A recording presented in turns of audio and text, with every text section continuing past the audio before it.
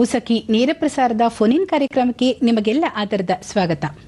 ಇದು ಮಕ್ಕಳು ಪರೀಕ್ಷೆಗೆ ತಯಾರಾಗುವಂತಹ ಸಮಯ. ಪರೀಕ್ಷೆ ಅಂದರೆ ಮಕ್ಕಳಿಗಿಂತ ಪೋಷಕರಲ್ಲೇ ಭಯ, ಆತಂಕ ಎರಡೂ ಹೆಚ್ಚು. ಎಲ್ಲಿ ತಮ್ಮ ಮಕ್ಕಳು ಹೆಚ್ಚು ಅಂಕಗಳನ್ನು ತಗೊಳ್ಳೋದಿಲ್ವೋ ಎಲ್ಲಿ ಮಕ್ಕಳು ಫೇಲ್ ಆಗಿಬಿಡ್ತಾರೋ ಅನ್ನೋ ಭಯ ಪೋಷಕರನ್ನ ಕಾಡ್ತಾ ಇರುತ್ತೆ. ಅದಕ್ಕೆ ಇರಬೇಕು. ವರ್ಷವೆಲ್ಲ ಓದಿದ್ರೂ ಸಹ ಕೆಲವು ಮಕ್ಕಳು ಪರೀಕ್ಷೆ ಬಂತು ಅಂದರೆ ಹೊಟ್ಟೆ ನೋವು ತಲೆನೋವು ಜ್ವರನೇ ಬಂದ್ಬಿಡುತ್ತೆ. ಹಾಗಾದರೆ ಈ ಎಲ್ಲ ಆತಂಕಗಳನ್ನು ದೂರ ಮಾಡಿಕೊಂಡು ಯಶಸ್ವಿಯಾಗಿ ಪರೀಕ್ಷೆನ ಎದುರಿಸೋದು ಹೇಗೆ? ಈ ಬಗ್ಗೆ ಇವತ್ತು ಮಾತಾಡೋಣ. ಯಾಕೆಂದರೆ ನಮ್ಮ ಜೊತೆ ಇದ್ದಾರೆ ಖ್ಯಾತ ಮನೋವೈದ್ಯರಾದ ಡಾಕ್ಟರ್ ಕೆ ಎಸ್ ಪವಿತ್ರ ಅವರು. ಇವರು ಮೂಲತಃ ಶಿವಮೊಗ್ಗದವರು. ಮನೋವೈದ್ಯಕೀಯ ವಿಭಾಗದಲ್ಲಿ ಎಂ ಡಿ ಮಾಡಿ ಎಸ್ ಡಿ ಎಂ ಮೆಡಿಕಲ್ ಕಾಲೇಜಿನಲ್ಲಿ ಪ್ರೊಫೆಸರ್ ಆಗಿದ್ದಾರೆ. ಸಖಿಯರೇ, ಇವತ್ತಿನ ವಿಷಯ ನಿಮಗೆ ಗೊತ್ತಾಯ್ತಲ್ವಾ? ನೀವು ಕರೆ ಮಾಡಿ ಪ್ರಶ್ನೆಗಳನ್ನು ಕೇಳಬಹುದು ಅಥವಾ ನಿಮ್ಮ ಅಭಿಪ್ರಾಯಗಳನ್ನು ನಮ್ಮ ಜೊತೆ ಹಂಚಿಕೊಳ್ಬಹುದು ದೂರವಾಣಿ ಸಂಖ್ಯೆಗಳು ಎರಡು ಮೂರು ಐದು ನಾಲ್ಕು ಎರಡು ಐದು ಒಂಬತ್ತು ಒಂಬತ್ತು ಅಥವಾ ಎರಡು ಮೂರು ಐದು ನಾಲ್ಕು ಎರಡು ಆರು ಒಂಬತ್ತು ಒಂಬತ್ತು. ನೀವು ನಮ್ಮ ಜೊತೆ ಮಾತಾಡುವಾಗ ಟಿವಿಯಿಂದ ದೂರ ಕೂತ್ಕೊಂಡು ಮಾತಾಡಿ ಇಲ್ಲಾಂದ್ರೆ ಟಿವಿ ವಾಲ್ಯೂಮ್ನ ಪೂರ್ತಿಯಾಗಿ ಕಡಿಮೆ ಮಾಡಿ ಮಾತಾಡಿ. ಹಾಗಾದ್ರೆ ಬನ್ನಿ ಇಂದಿನ ಅತಿಥಿ ಡಾಕ್ಟರ್ ಕೆ ಎಸ್ ಪವಿತ್ರ ಅವರನ್ನ ಆತ್ಮೀಯವಾಗಿ ಕಾರ್ಯಕ್ರಮಕ್ಕೆ ಸ್ವಾಗತಿಸೋಣ. ನಮಸ್ಕಾರ ಡಾಕ್ಟರ್ ಪವಿತ್ರ ಅವರೇ. ಆ, ಹೇಳಿ ಇವಾಗ ಇನ್ನೇನು ಪರೀಕ್ಷೆ ಸಮಯ ಬಂದ್ಬಿಟ್ಟಿದೆ ಇನ್ನೊಂದು ತಿಂಗಳಿದೆ ಎಲ್ಲರಲ್ಲೂ ಆತಂಕ ಇರುತ್ತೆ ಮಕ್ಕಳಲ್ಲೂ ಇರುತ್ತೆ ಪೋಷಕರಲ್ಲೂ ಇರುತ್ತೆ. ಈ ಪರೀಕ್ಷೆ ಅಂತಂದ್ರೆ ಯಾಕಿಷ್ಟು ಆತಂಕ? ಏನಿದ್ರ ಪ್ರಾಮುಖ್ಯತೆ ಅದನ್ನ ಹೇಳಿ. ಪರೀಕ್ಷೆಗೆ ಪ್ರಾಮುಖ್ಯತೆ ಬರೋದು ಯಾಕೆ ಅಂತ ಅಂದರೆ ಅದು ಒಂದು ಪ್ರದರ್ಶನ ಥರ ಪರ್ಫಾರ್ಮೆನ್ಸ್ ಅಂತ ಏನು ಹೇಳ್ತೀವಿ? ಅದಕ್ಕೆ. ಯಾಕೆ ಪರೀಕ್ಷೆಗೆ ಪರ್ಫಾರ್ಮೆನ್ಸ್ ಆಗಿ ಅದಕ್ಕೆ ಒಂದು ಪ್ರಾಮುಖ್ಯತೆ ಬರುತ್ತೆ ಅಂದ್ರೆ ಪರೀಕ್ಷೆಯಲ್ಲಿ ಬೇರೆ ಬೇರೆ ತರದ ಪರೀಕ್ಷೆಗಳಿದೆ.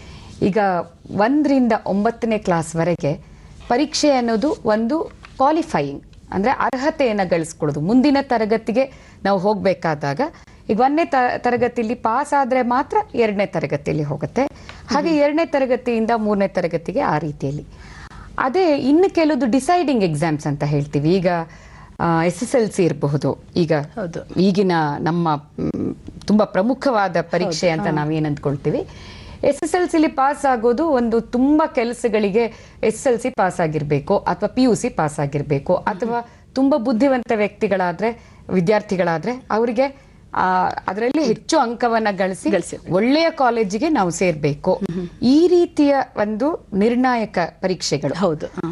ಹಾಗೇನೆ ಇನ್ನು ಕೆಲವೊಂದು ಕಾಂಪಿಟೇಟಿವ್ ಎಕ್ಸಾಮಿನೇಷನ್ಸ್ ಅಂತ ಹೇಳ್ತೀವಿ. ಎಲ್ಲಿ ಈಗ I A S I P S coaching C E T ದ್ವಿತೀಯ ಪಿ ಯು ಸಿಯ ಸಿಇ ಟಿ ಎಕ್ಸಾಮ್ಸು ಇವೆಲ್ಲ ಕಾಂಪಿಟೇಟಿವ್ ಎಕ್ಸಾಮಿನೇಷನ್ಸ್ ಅಂದ್ರೆ ನಮ್ಮಲ್ಲಿ ಎಷ್ಟು ಜನ ಎಕ್ಸಾಮ್ ತಗೊಳ್ತಾರೋ ಅವರೆಲ್ಲರಿಗಿಂತ ನಾನು ಹೆಚ್ಚು ಅಂಕಗಳನ್ನ ಗಳಿಸಿ ಮೊದಲನೇವರಾಗಬೇಕು. ಆವಾಗ ಅರ್ಹತೆ ಆಧಾರದ ಮೇಲೆ ಯಾರು ಮೊದಲನೇವರು ಅವರಿಗೆ ಒಳ್ಳೆ ಸೀಟ್ ಸಿಗುತ್ತೆ. ಹಾಗಾಗಿ ಸಹಜವಾಗಿ ಇವಾಗ ಎಲ್ಲರೂ ಹೇಳ್ಬೋದು ಎಕ್ಸಾಮು ನೀವು ಆತಂಕನೇ ಮಾಡ್ಕೋಬೇಡಿ ಅಂತ. ಆದ್ರೆ ಮನೋವೈದ್ಯಾಗಿ ನನ್ಗೆ ಏನನ್ಸುತ್ತೆ ಮನೋವೈಜ್ಞಾನಿಕವಾಗಿ ನಾವು ನೋಡಿದ್ರೆ ಸ್ವಲ್ಪ ಆತಂಕ ಆಗೋದು ಈ ಸಂದರ್ಭದಲ್ಲಿ ಅತ್ಯಂತ ಸಹಜವಾದ್ದು. ಪರೀಕ್ಷೆ ಬಗ್ಗೆ ಆತಂಕವನ್ನ ತಂದೆ ತಾಯಿಗಳಾಗ್ಲಿ, ವಿದ್ಯಾರ್ಥಿಗಳಾಗ್ಲಿ ಅದು ಒಂದೇನೋ ಅಸಹಜವಾದ್ದು, ಅದು ಒಂದು ಕಾಯಿಲೆ ಅಂತ ಅಂದ್ಕೊಳ್ಳೋದ್ರ ಬದಲು ಪರೀಕ್ಷೆಯ ಒಂದು ಭಾಗವಾಗಿ ನಾವು ಈ ಪರೀಕ್ಷಾ ಸಮಯದ ಆತಂಕವನ್ನ ಕೂಡ ನಾವು ಒಪ್ಕೊಳ್ಬೇಕಾಗತ್ತೆ. ಆದ್ರೆ ಆ ಆತಂಕವನ್ನ ನಾವು ಆರೋಗ್ಯಕರವಾಗಿ ನಿಭಾಯಿಸಬೇಕು. ಯಾವ ರೀತಿಯಲ್ಲಿ ನಾವು ಅದನ್ನ ನಮ್ಮ ಪರೀಕ್ಷೆಯನ್ನ ಚೆನ್ನಾಗಿ ಮಾಡೋದಕ್ಕೆ ಸಾಧ್ಯ ಇದೆ ಆ ರೀತಿಯಲ್ಲಿ ಆತಂಕವನ್ನ ನಾವು ಉಪಯೋಗಿಸ್ಕೊಳ್ಳೋದನ್ನ ಒಂದು ಕೌಶಲವಾಗಿ ಕಲ್ತ್ಕೋಬೇಕು ಅಂತ. ಅಂದ್ರೆ ಇದು ತುಂಬಾ ಪ್ರಮುಖವಾದದ್ದು ಅಂತಾನೆ ಹೇಳ್ಬಹುದು. ಪರೀಕ್ಷೆ ಅಂತ ಪ್ರಮುಖವಾದದ್ದು ಸಹಜವಾದದ್ದು. ಎರಡೂ ಹೌದು. ಓಕೆ. ಪರೀಕ್ಷಾ ಸಮಯದ ಆತಂಕ ಏನಿದೆ ಅದು ಸಹಜವಾದದ್ದು ಕೂಡ. ಈಗ ಯಾವ ವ್ಯಕ್ತಿನೂ ಇಷ್ಟೇ ಚೆನ್ನಾಗಿ ಓದಿದ ವಿದ್ಯಾರ್ಥಿಯು ಕೂಡ ಪರೀಕ್ಷೆಗೆ ಹೋಗ್ಬೇಕಾದ್ರೆ ನನ್ಗೆ ಒಂಚೂರು ಆತಂಕನೇ ಆಗ್ಲಿಲ್ಲ ನಾನು ಹೋಗಿ ಸುಮ್ಮನೆ ಬರ್ದ್ ಬಂದ್ಬಿಟ್ಟೆ ಅಂತ ಅಂದ್ರೆ ಒಂದು ಅವ್ರು ಸುಳ್ಳು ಹೇಳ್ತಾ ಇದ್ದಾರೆ ಹಾ ಇಲ್ಲ ಅವರು ಸ್ವಲ್ಪ ಆತಂಕ ಆಗಿದ್ದನ್ನ ಮುಚ್ಚಿಟ್ಕೊಳ್ತಾ ಇದ್ದಾರೆ ಅಂತ ಅಷ್ಟೇ. ಅದೇ ಒಂದು ರೀತಿ ಅಸಹಜ ಅನ್ಸ್ಬಿಡುತ್ತೆ ಆತಂಕ ಆಗ್ಲಿಲ್ಲ ಅನ್ನೋದೇ ಖಂಡಿತ ಖಂಡಿತ. ಹೌದು. ಅಂದ್ರೆ ಈಗ ತಂದೆ ತಾಯಿಯಲ್ಲಿ ಹೆಚ್ಚು ಆತಂಕ ಆದಾಗ ಅದಕ್ಕೆ ನೀವೇನ್ ಹೇಳ್ತೀರಾ? ಅದರಿಂದ ಅದು ಮಕ್ಕಳ ಮೇಲೆ ಒಂದು ರೀತಿಯಲ್ಲಿ ಒತ್ತಡ ಹಾಕ್ತಾ ಇದ್ದಾರೆ ಅಂತ ಅನ್ಸುತ್ತಾ? ಅದರಿಂದ ಮಕ್ಕಳಲ್ಲಿ ಹೆಚ್ಚು ಆತಂಕ ಹೆಚ್ಚಾಗತ್ತಾ? ನೋಡಿ ತಂದೆ ತಾಯಿಗಳು ವಿಶೇಷವಾಗಿ ತಾಯಂದ್ರು ಇವತ್ತಿನ ಈ ಕಾರ್ಯಕ್ರಮ ಸಖಿಯರಿಗೆ ಸಂಬಂಧಪಟ್ಟಿರೋದ್ರಿಂದ ನಾವ್ ಏನ್ ನೋಡ್ತೀವಿ ಅಂದ್ರೆ ತಾಯಂದ್ರು ತಾಯಂದ್ರಿಗೆ ಮಕ್ಕಳು ಏನನ್ನೇ ಮಾಡ್ಬೇಕಾದ್ರು ಅದು ತಾವು ಮಾಡ್ತಾ ಇದೀವಿ ಅಂತ. ಈಗ ಈಗ ನನ್ನ ಮಗಳು ಎಕ್ಸಾಮ್ ಅಲ್ಲಿ ಫಸ್ಟ್ ಬಂದು ಅಥವಾ ಎಕ್ಸಾಮಲ್ಲಿ ಫೇಲ್ ಆದ್ರು ಅದು ನನಗೆ ಏನನ್ಸುತ್ತೆ ಅನ್ಸುತ್ತೆ ನಾನೇ ಪಾಸ್ ಆಗ್ತಾ ಇದ್ದೀನಿ. ಎಷ್ಟೋ ಸಲ ನಾವು ತಮಾಷೆಯಾಗಿ ಹೇಳೋದಿದೆ. ಈಗ ನಾವು ಒಂದನೇ ಕ್ಲಾಸಲ್ಲಿ ನಮ್ಗೆ ಅರ್ಥ ಆಗದಿದ್ದೆಲ್ಲ ನಾವು ಒಂದನೇ ಕ್ಲಾಸ್ ಕಲಿಬೇಕಾದ್ರೆ ಈಗ ನಮ್ಮ ಮಕ್ಕಳ ಕ್ಲಾಸಿಗೆ ನಮಗೆ ಪರ್ಫೆಕ್ಟ್ ಆಗಿ ಅದು ಅರ್ಥ ಆಗಿದೆ ಅಂತ. ಅಂದ್ರೆ ಪ್ರಾಬ್ಲಮ್ ಏನು ಅಂತಂದ್ರೆ ನಾವು ವಿದ್ಯಾರ್ಥಿಗಳಾದಾಗ ನಾವು ಎಕ್ಸಾಮ್ ಬರಿಬೇಕಾದ್ರೆ ನಮ್ಗೆ ಅದು ಅರ್ಥ ಆಗೋದು ಮುಖ್ಯವೇ ಹೊರತು. ಆ ವಯಸ್ಸಿನ ಆ ಒಂದು ಕಲ್ಪನೆಯಿಂದ ನಾವು ಅದನ್ನು ತಗೊಳ್ಬೇಕೇ ಹೊರತು. ಮಕ್ಕಳಿಗೆ ಮಕ್ಕಳ ಏನು ಪರ್ಫಾರ್ಮೆನ್ಸ್ ಇರುತ್ತೆ ಅದನ್ನ ನಮ್ಮ ವಯಸ್ಸಿನ ನಮ್ಮ ಅನುಭವದ ಆಧಾರದ ಮೇಲೆ ನಾವು ಅದನ್ನ ಅಳಿಯಕ್ ಹೋದಾಗ ಈ ತೊಂದರೆಗಳು ಉದ್ಭವಿಸುತ್ತೆ. ಸಹಜವಾಗಿ ತಂದೆ ತಾಯಿಗಳು ಮಕ್ಕಳ ಮುಖಾಂತರ ಅವರ ಸಾಧನೆಗಳ ಮುಖಾಂತರ ತಮ್ಮನ್ನ ತಾವು ಗುರುತಿಸ್ಕೊಳ್ತಾರೆ ಅನ್ನೋದು ಎಲ್ಲಾ ಕಾಲಕ್ಕೂ ಮತ್ತು ಈಗಿನ ಸ್ಪರ್ಧಾತ್ಮಕ ಯುಗದಲ್ಲಂತೂ ಮತ್ತೂ ನಿಜವಾದಂತ ಇದು. ಹೌದು. ಹಾಗಾಗಿ ಸ್ವಲ್ಪ ಮಟ್ಟಿಗೆ ಟಿವಿ ನೋಡ್ಬೇಡ ಓದು ಅಥವಾ ನಿಂಗೆ ಎಕ್ಸಾಮ್ ಹತ್ರ ಬರ್ತಾ ಇದೆ ಬೇರೆ ಎಲ್ಲೂ ಹೋಗ್ಬೇಡ ಓದು ಕುತ್ಕೊಂಡು ಅಥವಾ ಓದ್ತಾನೆ ಇಲ್ಲ ನಮ್ಮ ಮಕ್ಕಳು ರಾತ್ರಿ ಎಲ್ಲ ಓದ್ತಾರೆ. ಈ ರೀತಿಯ ಆತಂಕಗಳು ತಂದೆ ತಾಯಿರ್ಲಿ ಬರೋದು ತುಂಬಾ ಅಸಹಜವೇನು ಅಲ್ಲ. ಆದ್ರೆ ಎಲ್ಲಿ ಆ ಮಿತಿಯನ್ನ ನಾವು ಹಾಕ್ತಿವಿ ಅನ್ನೋದು ಮುಖ್ಯ. ಮುಖ್ಯ ಆಗುತ್ತೆ. ಯಾಕಂದ್ರೆ ಅದು ನೀವೇ ಹೇಳ್ದಂಗೆ ಎಲ್ಲೋ ಒಂದ್ ಕಡೆ ಮಕ್ಕಳ ಆತಂಕವನ್ನೇ ಅದು ಜಾಸ್ತಿ ಮಾಡಿ ಅವರ ಒತ್ತಡವನ್ನೇ ಅದು ಜಾಸ್ತಿ ಮಾಡಿ ಮುಂದೊಮ್ಮೆ ಅದು ಆತ್ಮಹತ್ಯೆಯೋ ಅಥವಾ ಪರೀಕ್ಷೆಯಲ್ಲಿ ಎಷ್ಟು ಮಾಡಬಹುದಾಗಿತ್ತೋ ಅಷ್ಟನ್ನೂ ಮಾಡದೆ ಫೇಲ್ ಆಗುವಂತ ಅಪಾಯಕ್ಕೂ ಅದು ತುತ್ತಾಗಬಾರ್ದು. ಹೌದು. ಅಂದ್ರೆ ಇನ್ನೊಂದು ಏನಾಗುತ್ತೆ ಅಂದ್ರೆ ಬಹಳಷ್ಟು ಸಲ ನಾನು ಡಾಕ್ಟರ್ ಆಗ್ಬೇಕಂತಿದೆ ನಂಗಾಗ್ಲಿಲ್ಲ. ನನ್ ಮಗಳಾದ್ರೂ ಅಥವಾ ನನ್ನ ಮಗ ಆದ್ರೂ ಡಾಕ್ಟರ್ ಆಗ್ಲಿ ಅನ್ನೋ ರೀತಿಯಲ್ಲಿ ಅಂತಹ ಒತ್ತಡವನ್ನ ಹೇರೋದ್ರಿಂದ ಸಹ ತೊಂದರೆ ಆಗಬಹುದಲ್ವಾ? ಡಾಕ್ಟರ್ ಆಗ್ಲಿಲ್ಲ ಅದು ಒಂದೇ ಅಲ್ಲ. ಅಂದ್ರೆ ಆ ರೀತಿ ತಮ್ಮ ಆಸೆ ಆಕಾಂಕ್ಷೆಗಳು. ತಂದೆ ತಾಯಂದ್ರೆ ಏನ್ ಹೇಳ್ತಾರೆ? ನಮ್ಗೆ ನಾವು ಓದ್ಬೇಕು ಅಂತ ನಮ್ಗೆ ಎಷ್ಟು ಆಸೆ ಇದ್ರೂ ಕೂಡ ಸೌಲಭ್ಯಗಳಿರ್ಲಿಲ್ಲ. ಎಷ್ಟೋ ದೂರ ನಡ್ಕೊಂಡು ಹೋಗ್ಬೇಕಾಗಿತ್ತು. ಮತ್ಯಾವ್ದೋ ಒಂದು ಕಾಲೇಜಿಗೆ ನಮ್ಗೆ ಹೋಗ್ಬೇಕು ಅಂತಿತ್ತು ಅಲ್ಲಿ ಸೇರ್ಸೋರು ಯಾರು ಇರ್ಲಿಲ್ಲ. ಅಷ್ಟು ದುಡ್ಡಿರ್ಲಿಲ್ಲ. ಈಗ ನಮ್ಮ ಮಕ್ಳಿಗೆ ನಾವ್ ಏನ್ ಬೇಕಾದ್ರೂ ಮಾಡ್ಕೊಡ್ತೀವಿ. ನೀನ್ ಓದೊಂದು ಓದು ಸಾಕು. ಹ್ಮ್ ಅನ್ನುವಂತ ಮನೋಭಾವ ತಂದೆ ತಾಯಿಗಳಲ್ಲಿರುತ್ತೆ. ಆದ್ರೆ ಆ, ಅದು ತುಂಬಾ ಸಮಯ ಅದು ಕೆಲಸ ಮಾಡಲ್ಲ ಆ ಥರ ಮನೋಭಾವ. ಸೊ ನಾವು ಏನು ಅರ್ಥ ಮಾಡ್ಕೋಬೇಕು? ನಾವು ನಾವು ಓದ್ಬೋದು. ಮಕ್ಕಳು ಮಕ್ಕಳು ಓದ್ಬಹುದು. ಮತ್ತೆ ಎಲ್ಲೋ ಒಂದು ಕಡೆ ಈಗ ತುಂಬಾ ಜನ ತಂದೆ ತಾಯಿ ಎಸ್ಪೆಷಲಿ ಈ ಪರೀಕ್ಷೆಯ ಸಮಯದಲ್ಲಿ ಕರ್ಕೊಂಡು ಬಂದು ಹೇಳ್ತಾರೆ. ಏನಂತ? ನಮ್ಮ ಮಕ್ಕಳು ಕುತ್ಕೊಂಡು ಓದಿದ್ರೆ ಅವರಿಗೆ ನೂರಕ್ಕೆ ನೂರು ಅಂಕ ಗ್ಯಾರಂಟಿ. ತುಂಬಾ ಬುದ್ಧಿವಂತ ಇದ್ದಾನೆ ನಮ್ಮ ಮಗ. ಅವ್ನು ಕುತ್ಕೊಂಡು ಓದಿದ್ರೆ ನೂರಕ್ಕೆ ನೂರು ಬಂದೇ ಬರುತ್ತೆ ಅಂತ ನಂಗೆ ಗೊತ್ತು ಅಂತ. ಆದ್ರೆ ತೊಂದರೆ ಏನು ಅಂದ್ರೆ ಆ ಕುತ್ಕೊಂಡು ಓದೋದ್ರಲ್ಲಾಗಲಿ ಅಥವಾ ನೂರಕ್ಕೆ ನೂರು ಅಂಕ ತೆಗೆಯೋದ್ರಲ್ಲಾಗ್ಲಿ ಮೊದಲನೇ ರ್ಯಾಂಕ್ ಕಳಿಸೋದ್ರಲ್ಲಾಗ್ಲಿ ಕುತ್ಕೊಂಡು ಓದುವಂತ ಆ ಒಂದು ಆಸಕ್ತಿಯು ಕೂಡ ಅದರ ಒಂದು ಭಾಗ ಅನ್ನೋದನ್ನ ತುಂಬಾ ಜನ ತಂದೆ ತಾಯಿಗಳು ಗಮನಿಸೋದಿಲ್ಲ. ಅಂದ್ರೆ ನಮ್ಮ ಯಾವುದೇ ನೀವು ಪರೀಕ್ಷೆಗಳನ್ನ ತೆಗೆದುಕೊಂಡ್ರೆ ಆ ಪರೀಕ್ಷೆಗಳು ಆ ವಯಸ್ಸಿಗೆ ತಕ್ಕ ಹಾಗೆ ಅದನ್ನ ರೂಪಿಸಿರ್ತಾರೆ. ಈಗ ಒಂದು ಪ್ರಶ್ನೆ ಪತ್ರಿಕೆನ ಕೂಡ ವಿದ್ಯಾರ್ಥಿಗಳು ಇದನ್ನು ಗಮನಿಸಬೇಕು. ಒಂದು ಪ್ರಶ್ನೆ ಪತ್ರಿಕೆನ ರೂಪಿಸಬೇಕಾದ್ರೆ ಯಾರು ಎಕ್ಸಾಮ್ ಸೆಕ್ಟರ್ಸ್ ಅಂತ ಇರ್ತಾರೆ ಅವರು ಆ ವಯಸ್ಸಿಗೆ ಅನುಗುಣವಾದ ಸಿಲೆಬಸ್ಗೆ ಯಾವ ಪಠ್ಯ ಪದ್ಧತಿ ಇರುತ್ತೆ ಅದಕ್ಕೆ ಅನುಗುಣವಾಗಿ ಆ ಪರೀಕ್ಷೆಯನ್ನು ರೂಪಿಸಿರ್ತಾರೆ. ಹಾಗಾಗಿ ನೂರಕ್ಕೆ ತೊಂಬತ್ತರಷ್ಟು ಭಾಗ ಎಲ್ಲ average students above average students ಅಂತ ಏನ್ ಹೇಳ್ತೀವಿ?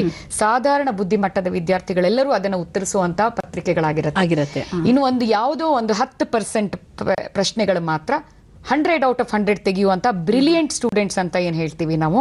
ಅತ್ಯುತ್ತಮ ಬುದ್ಧಿಮಟ್ಟದ ವಿದ್ಯಾರ್ಥಿಗಳು ಅವರ ಇದಕ್ಕೆ ಅದನ್ನ ರೂಪಿಸಿರುತ್ತೆ. ಹಾಗಾಗಿ ಒಂದು ಪರೀಕ್ಷೆಯಲ್ಲಿ ಪಾಸ್ ಆಗೋದು ಒಂದು ಕಷ್ಟಪಟ್ಟು ಪ್ರಾಮಾಣಿಕವಾಗಿ ಓದುವಂಥ ವಿದ್ಯಾರ್ಥಿಗೆ ಖಂಡಿತವಾಗಿ ಸವಾಲೇ ಅಲ್ಲ. ಅಲ್ಲ ಅಂತ. ಓಕೆ ಈಗ ಸಿದ್ಧತೆ ಅಂತ ಬಂದಾಗ ಏಕೆಂದ್ರೆ ಇನ್ನು ಒಂದೇ ತಿಂಗಳಿರೋದು. ಯಾವಾಗಿನ ಸಿದ್ಧತೆ ಮಾಡ್ಕೊಳ್ಬೇಕು ಅಂತ ಹೇಳ್ತಾರೆ? ಆ್ಯಕ್ಚುಲಿ ಹೇಳ್ತಾರೆ ಇದು ಶು ಅಂದರೆ ಶುರು ಆದಾಗಿಂದನೇ ಓದಲೇಬೇಕು ಅಂತ ಹೇಳ್ತಾರೆ. ಆದರೆ ಕೆಲವ್ರಿಗೆ ಅದು ಸಾಧ್ಯ ಆಗಿಲ್ಲ. ಅಯ್ಯೋ ಇನ್ನೂ ಒಂದು ವರ್ಷ ಇದೆಯಲ್ಲ ಬಿಡು ಪರೀಕ್ಷೆ ಓದಿದ್ರಾಯ್ತು ಅಂತ ಅನ್ಕೊಂಡು ಬಂದಿರ್ತಾರೆ. ಏನು ಹೇಳ್ತೀರಾ ಅದ್ರ ಬಗ್ಗೆ? ನೋಡಿ ಪರೀಕ್ಷೆಯ ಬಗ್ಗೆ ನಾವು ಪರೀಕ್ಷೆಯನ್ನು ಮಾತ್ರ ಕೇಂದ್ರೀಕರಿಸಿ ನೋಡಿದಾಗ ಸಿದ್ಧತೆ ಪರೀಕ್ಷೆಗೆ ಅಂತ ನಮ್ಗನ್ಸತ್ತೆ. ಹೌದು. ಆದ್ರೆ ನಿಜವಾದ ಅರ್ಥದಲ್ಲಿ ನಾವು ನೋಡಿದ್ರೆ ಈಗ ಒಂದನೇ ಕ್ಲಾಸ್ ಅಲ್ಲಿ ಪಾಸ್ ಆಯ್ತು ಮಗು ಪರೀಕ್ಷೆಯಲ್ಲಿ ಪಾಸ್ ಆಯ್ತು ಅಂತ ನಾವು ಹೇಳಲ್ಲ. ಜನ ಅನ್ಕೊಳ್ಬಹುದು ಪರೀಕ್ಷೆಯಲ್ಲಿ ಪಾಸ್ ಆಗ್ತಾ ಇದೆ ಅಂತ. ಬಟ್ ಆದ್ರೆ ಅದು ಒಂದನೇ ಕ್ಲಾಸಿನ ಪಠ್ಯ ಪದ್ಧತಿಯನ್ನ ಮಗು ಅರ್ಥ ಮಾಡ್ಕೊಂಡಿದೆ ಅನ್ನೋದಕ್ಕೆ ಅದು ಒಂದು ಗುರುತು. ಅದಕ್ಕೆ ಆ ಪರೀಕ್ಷೆ. ಒಂದು ಕರೆ ತಗೊಂಡು ನಾವು ಮಾತು ಮುಂದುವರ್ಸೋಣ. ಮೈಸೂರಿಂದ ಕರೆ ಮಾಡಿದ್ದಾರೆ ಉಷಾ ಅವರೇ ನಮಸ್ಕಾರ. ಹಾ ನಮಸ್ಕಾರ ಎಲ್ರಿಗುವೆ ನಿಮ್ಮ ಆರ್ಟಿಕಲ್ ಎಲ್ಲ ಓದ್ತಾ ಇರ್ತೀನಿ ತುಂಬಾ ಚೆನ್ನಾಗಿರುತ್ತೆ. ತುಂಬಾ ಅಂದ್ರೆ ತುಂಬಾ ವಿಷಯ ತಿಳ್ಕೊತಾ ಇದ್ದೀನಿ ಡಾಕ್ಟ್ರೆ. ಧನ್ಯವಾದಗಳು. ಡಾಕ್ಟರ್ ಈಗ ಮಕ್ಕಳಿಗೆ ವಿದ್ಯೆ ಮಹತ್ವ ಗೊತ್ತಿರಲ್ಲ. ಈ ಪರೀಕ್ಷೆ ಅಂದ್ರೆ ಏನೋ ಒಂದ್ ದಿವಸ ಅವ್ದೇ ಸ್ಕೂಲು ಹೋಗ್ ಬಂದ್ಬಿಡ್ಬೋದು ಆ ತರ ಎಲ್ಲ ಅನ್ಕೊಂಡಿರ್ತಾರೆ. ಈಗ ನೀವ್ ಹೇಳೋ ತಿಳುವಳಿಕೆ ಎಲ್ಲ ಒಂದು ಪ್ರಬುದ್ಧವಾಗಿರೋ ಮಕ್ಳಿಗೆ ವಯಸ್ಸವ್ರಿಗೆ ಅರ್ಥ ಆಗತ್ತೆ. ಈ ಎಳೆ ಮಕ್ಳಿಗೆ ವಿದ್ಯೆ ಮಹತ್ವ ಇಲ್ಲ ಸಂಪಾದನೆ ಅಂದ್ರೆ ಏನೋ ಗೊತ್ತಿಲ್ಲ ಏನೋ ಕ್ಲಾಸಿಂದ ಕ್ಲಾಸ್ ಮುಂದಕ್ಕೆ ಹೋಗ್ತಾ ಇದ್ದೀನಿ ಅಂತ ಅಷ್ಟೇ ತಿಳ್ಕೊಂಡಿರ್ತಾರೆ. ಇವ್ರಿಗೆ. ವಿದ್ಯೆನ ಮಹತ್ವನ ಯಾವ ತರ ತಿಳ್ಕೊಬೇಕು? ಮತ್ತೆ ಪರೀಕ್ಷೆ ಏನಂದ್ರೆ ಭಯ ಅಲ್ಲದೆ ಪ್ರೀತಿಯಿಂದ ಹೇಗೆ ಹೇಳ್ಕೊಡ್ಬೇಕು ಡಾಕ್ಟರ್ ಉಷಾ ಅವ್ರೆ ನಿಮ್ ಪ್ರಶ್ನೆ ತುಂಬಾ ಇದು ತುಂಬಾ ಒಳ್ಳೆ ಪ್ರಶ್ನೆ. ಯಾಕೆ ಅಂತಂದ್ರೆ ಇವಾಗ ಒಂದನೇ ಕ್ಲಾಸಿಂದ ಐದನೇ ಕ್ಲಾಸ್ ವರೆಗೆ ಅವ್ರು ಹೇಳಿದ್ದು ನಿಜ. ನಿಮ್ಮ ಒಂದನೇ ಕ್ಲಾಸಿನ ಮಕ್ಕಳಿಗೆ ನೀವು ಕೇಳಿದ್ರೆ ಯಾಕೆ ಸ್ಕೂಲಿಗೆ ಹೋಗ್ತೀಯಾ ಅಂತ ಕೇಳಿದ್ರೆ ಇಲ್ದಿರೆ ನಮ್ಮ ಅಪ್ಪ ಅಮ್ಮ ಬಾರಿಸ್ತಾರೆ ನನಗೆ ಅದಕ್ಕೆ ನಾನು ಸ್ಕೂಲಿಗೆ ಹೋಗ್ತೀನಿ ಅಂತ ಹೇಳ್ಬಹುದು. ಆದ್ರೆ ಐದನೇ ಕ್ಲಾಸಿನ ನಂತರ ನಾವು ಏನು ಪ್ರಾಥಮಿಕ ಶಾಲೆಯನ್ನ ಮುಗಿಸಿ ಹಿರಿಯ ಪ್ರಾಥಮಿಕ ಶಾಲೆ ಅಂತ ನಾವು ಏನು ಕ್ಯಾಟಗರಿ ಮಾಡ್ತಾರೆ. ಅದೆಲ್ಲ ಸುಮ್ಮನೆ ಮಾಡಿರುವಂತ ಕ್ಯಾಟಗರಿಗಳಲ್ಲ. ಪ್ರೌಢಶಾಲೆ ಹಿರಿಯ ಪ್ರಾಥಮಿಕ ಶಾಲೆ ಪ್ರಾಥಮಿಕ ಶಾಲೆ ಆಮೇಲೆ ಶಿಶು ವಿಹಾರ ಇವೆಲ್ಲ ಸುಮ್ಮನೆ ಒಂದು ಏನೋ ಒಂದು ಮಾಡಿ ಮಾಡಿದ್ದಕ್ಕೆ ವಿಭಾಗಗಳನ್ನ ಮಾಡಿರೋದಲ್ಲ. ಅವೆಲ್ಲ ಮಗುವಿನ ಬುದ್ಧಿಶಕ್ತಿಯ ಮಟ್ಟ ಮತ್ತೆ ಅದನ್ನ ಯೋಚನೆ ಮಾಡಿ ಅರ್ಥೈಸಿಕೊಳ್ಳುವಂತ ಮಟ್ಟ ಇವುಗಳನ್ನ ನೋಡ್ಬಿಟ್ಟು ಮಾಡಿರೋದು. ವೈಜ್ಞಾನಿಕವಾಗಿ. ಹಾಗಾಗಿ ಈಗ ಒಂದನೇ ಕ್ಲಾಸಿನ ಮಗುಗೆ ಇದು ಉಷಾ ಹೇಳ್ದ ಅವ್ರ ಅವ್ರು ಹೇಳ್ದಂತ ವಿಷಯ ಗೊತ್ತಿಲ್ಲದೆ ಇದ್ರು. ಈಗ ಒಂದು ಹತ್ತನೇ class second year P U C ಮಕ್ಳಿಗೆ ಗೊತ್ತಿರುತ್ತೆ. ನೀವು ಯಾಕೆ ಸ್ಕೂಲಿಗೆ ಹೋಗ್ತೀರಾ ಅಥವಾ ಕಾಲೇಜ್ಗೆ ಹೋಗ್ತೀರಾ ಅಂದ್ರೆ ನಾನು ಇದರಲ್ಲಿ ಇಷ್ಟು ಮಾರ್ಕ್ಸ್ ತೆಗೆದ್ರೆ ನಂಗೆ ಇಂಥ ಕಡೆ ಸೀಟ್ ಸಿಗುತ್ತೆ. ಅದರಿಂದ ಏನಾಗುತ್ತೆ ಅಂತ ಕೇಳಿದ್ರೆ ಆಮೇಲೆ ನಂಗೆ ಇಂಥ ಸೀಟ್ ಸಿಗುತ್ತೆ. ನಂಗೆ ಜೀವನ ಆರಾಮ ಆಗತ್ತೆ ಅನ್ನುವಂಥ ಫೈನಲ್ ಉತ್ತರ ಬರುತ್ತೆ. ಹೌದು. ಉಷಾ ಅವ್ರು ಕೇಳಿದ ಹಾಗೆ ಆ ಮಕ್ಕಳಿಗೆ ಹೇಗೆ ನಾವು ಅರಿವು ಮಾಡಿಕೊಡ್ಬೇಕು ವಿದ್ಯೆಯ ಪ್ರಾಮುಖ್ಯದ ಬಗ್ಗೆ ಅಂದ್ರೆ ವಿದ್ಯೆ ಕಲಿಯೋದ್ರಲ್ಲಿ ಸಂತೋಷವನ್ನ ಹುಟ್ಟಿಸೋದ್ರ ಬಗ್ಗೆ. ನಮ್ಮ ಗುರಿ ಅಲ್ಲಿ ಪರೀಕ್ಷೆ ಅಲ್ಲ. ಅಲ್ಲಿಗ L K G U K G ಮಕ್ಕಳ ತಾಯಂದ್ರು ಕೂಡ ಪರೀಕ್ಷೆ ಶುರು ಆಯ್ತು ಅಂದ್ರೆ ಬರ್ಸೋದು ಓದ್ಸೋದು ಮಾಡ್ತಿರ್ತಾರಲ್ಲ ಅದಲ್ಲ ನಮ್ಮ ಗುರಿ. ಅಲ್ಲಿ ನಮ್ಮ ಗುರಿ ಏನು? ಗುರಿ ಇಲ್ಲದೆ ಇರೋದೇ ನಮ್ಮ ಗುರಿ ಆಗ್ಬೇಕಲ್ಲಿ. ಅಂದ್ರೆ ಪ್ರಾಸೆಸ್ ಅನ್ನೋದು ತುಂಬಾ ಮುಖ್ಯವಾಗಿ ಮುಖ್ಯವಾಗಿದೆ ಜ್ಞಾನಾರ್ಜನೆ. ಹೌದು ಮತ್ತೆ ಮಕ್ಕಳಲ್ಲೂ ಕೂಡ ಈಗ ನೀವು ಪರೀಕ್ಷೆಗೆ ಅಂತ ಎಷ್ಟೇ ಓದಿದ್ರು ಮಕ್ಕಳ ಹತ್ರ ನಿಮ್ಗೆ ಯಾವ್ದು ತುಂಬಾ ಇಷ್ಟ ಆಯ್ತು ಅಂತ ಕೇಳಿದ್ರೆ ಯಾವ್ದೋ ಒಂದು ವಿಷಯದ ಬಗ್ಗೆ ಹೇಳ್ತಾರೆ. ಗಣಿತದಲ್ಲಿ ಇಂಥದ್ ವಿಷಯ ನಂಗೆ ತುಂಬಾ ಇಷ್ಟ ಆಯ್ತು ಅಂತ ಹೇಳ್ಬೋದು. ವಿಜ್ಞಾನದಲ್ಲಿ ನಂಗೆ ಇಂಥ ಪ್ರಯೋಗ ತುಂಬಾ ಇಷ್ಟ ಆಯ್ತು ಅಂತ ಹೇಳ್ಬೋದು.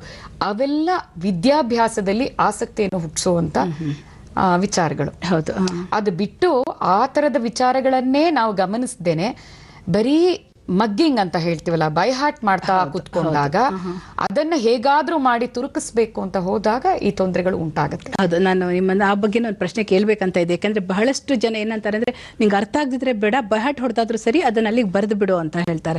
ಅಂದ್ರೆ ಈ ಟೆಕ್ಸ್ಟ್ ಬುಕ್ ಅಲ್ಲಿ ಏನಿದೆ ಅದಷ್ಟು ತಲೆಯಲ್ಲಿ ಇರಬೇಕು. ಅರ್ಥ ಆಗದಿದ್ರೆ ಪರವಾಗಿಲ್ಲ. ಬಹಾಟ್ ಹೊಡೆದಾದ್ರೂ ಬರೆದು ಬಿಡು ಮಾರ್ಕ್ಸ್ ಬಂದ್ರೆ ಸಾಕು ಅಂತ. ಅದು ಒಂದು ರೀತಿ ಅಪಾಯಕಾರಿ ಅಲ್ಲ? ಅದ ಅದು ತುಂಬಾ ಅಪಾಯಕಾರಿ. ಬೈ ಹಾರ್ಟಿಂಗ್ ಬಾಯಿ ಪಾಠ ಅನ್ನುವಂಥದ್ದು ಬೇಕು. ಈಗ ಸಣ್ಣ ಕ್ಲಾಸ್ಗಳಲ್ಲಿ ಬೈ ಹಾರ್ಟ್ ಅಂತ ಅನ್ನೋದು ಕೆಲವು ವಿಷಯಗಳಲ್ಲಿ ಉಪಯೋಗ ಆಗುತ್ತೆ. ಪದ್ಯಗಳನ್ನ ಬೈಹಾಟ್ ಮಾಡೋದಕ್ಕಾಗ್ಲಿ ಅಥವಾ ಮಗ್ಗಿಗಳನ್ನ. ಹೌದು. ಏನು ಈಗ ನಮ್ಗೆ ಮುಂಚೆ ಟೇಬಲ್ಸ್ ಬಗ್ಗೆ ಮಗ್ಗಿಗಳ ಬಗ್ಗೆ ಗೊತ್ತಿರಲ್ಲ. ಅದು ಎರಡ್ ಮೂರ್ಲೆ ಆರು ಹೇಗ್ ಬರುತ್ತೆ ಅಂತ ಗೊತ್ತಿರಲ್ಲ ಬಟ್ ಎರಡ್ ಮೂರ್ಲೆ ಆರು ಅನ್ನೋದು ಗೊತ್ತಿರುತ್ತೆ.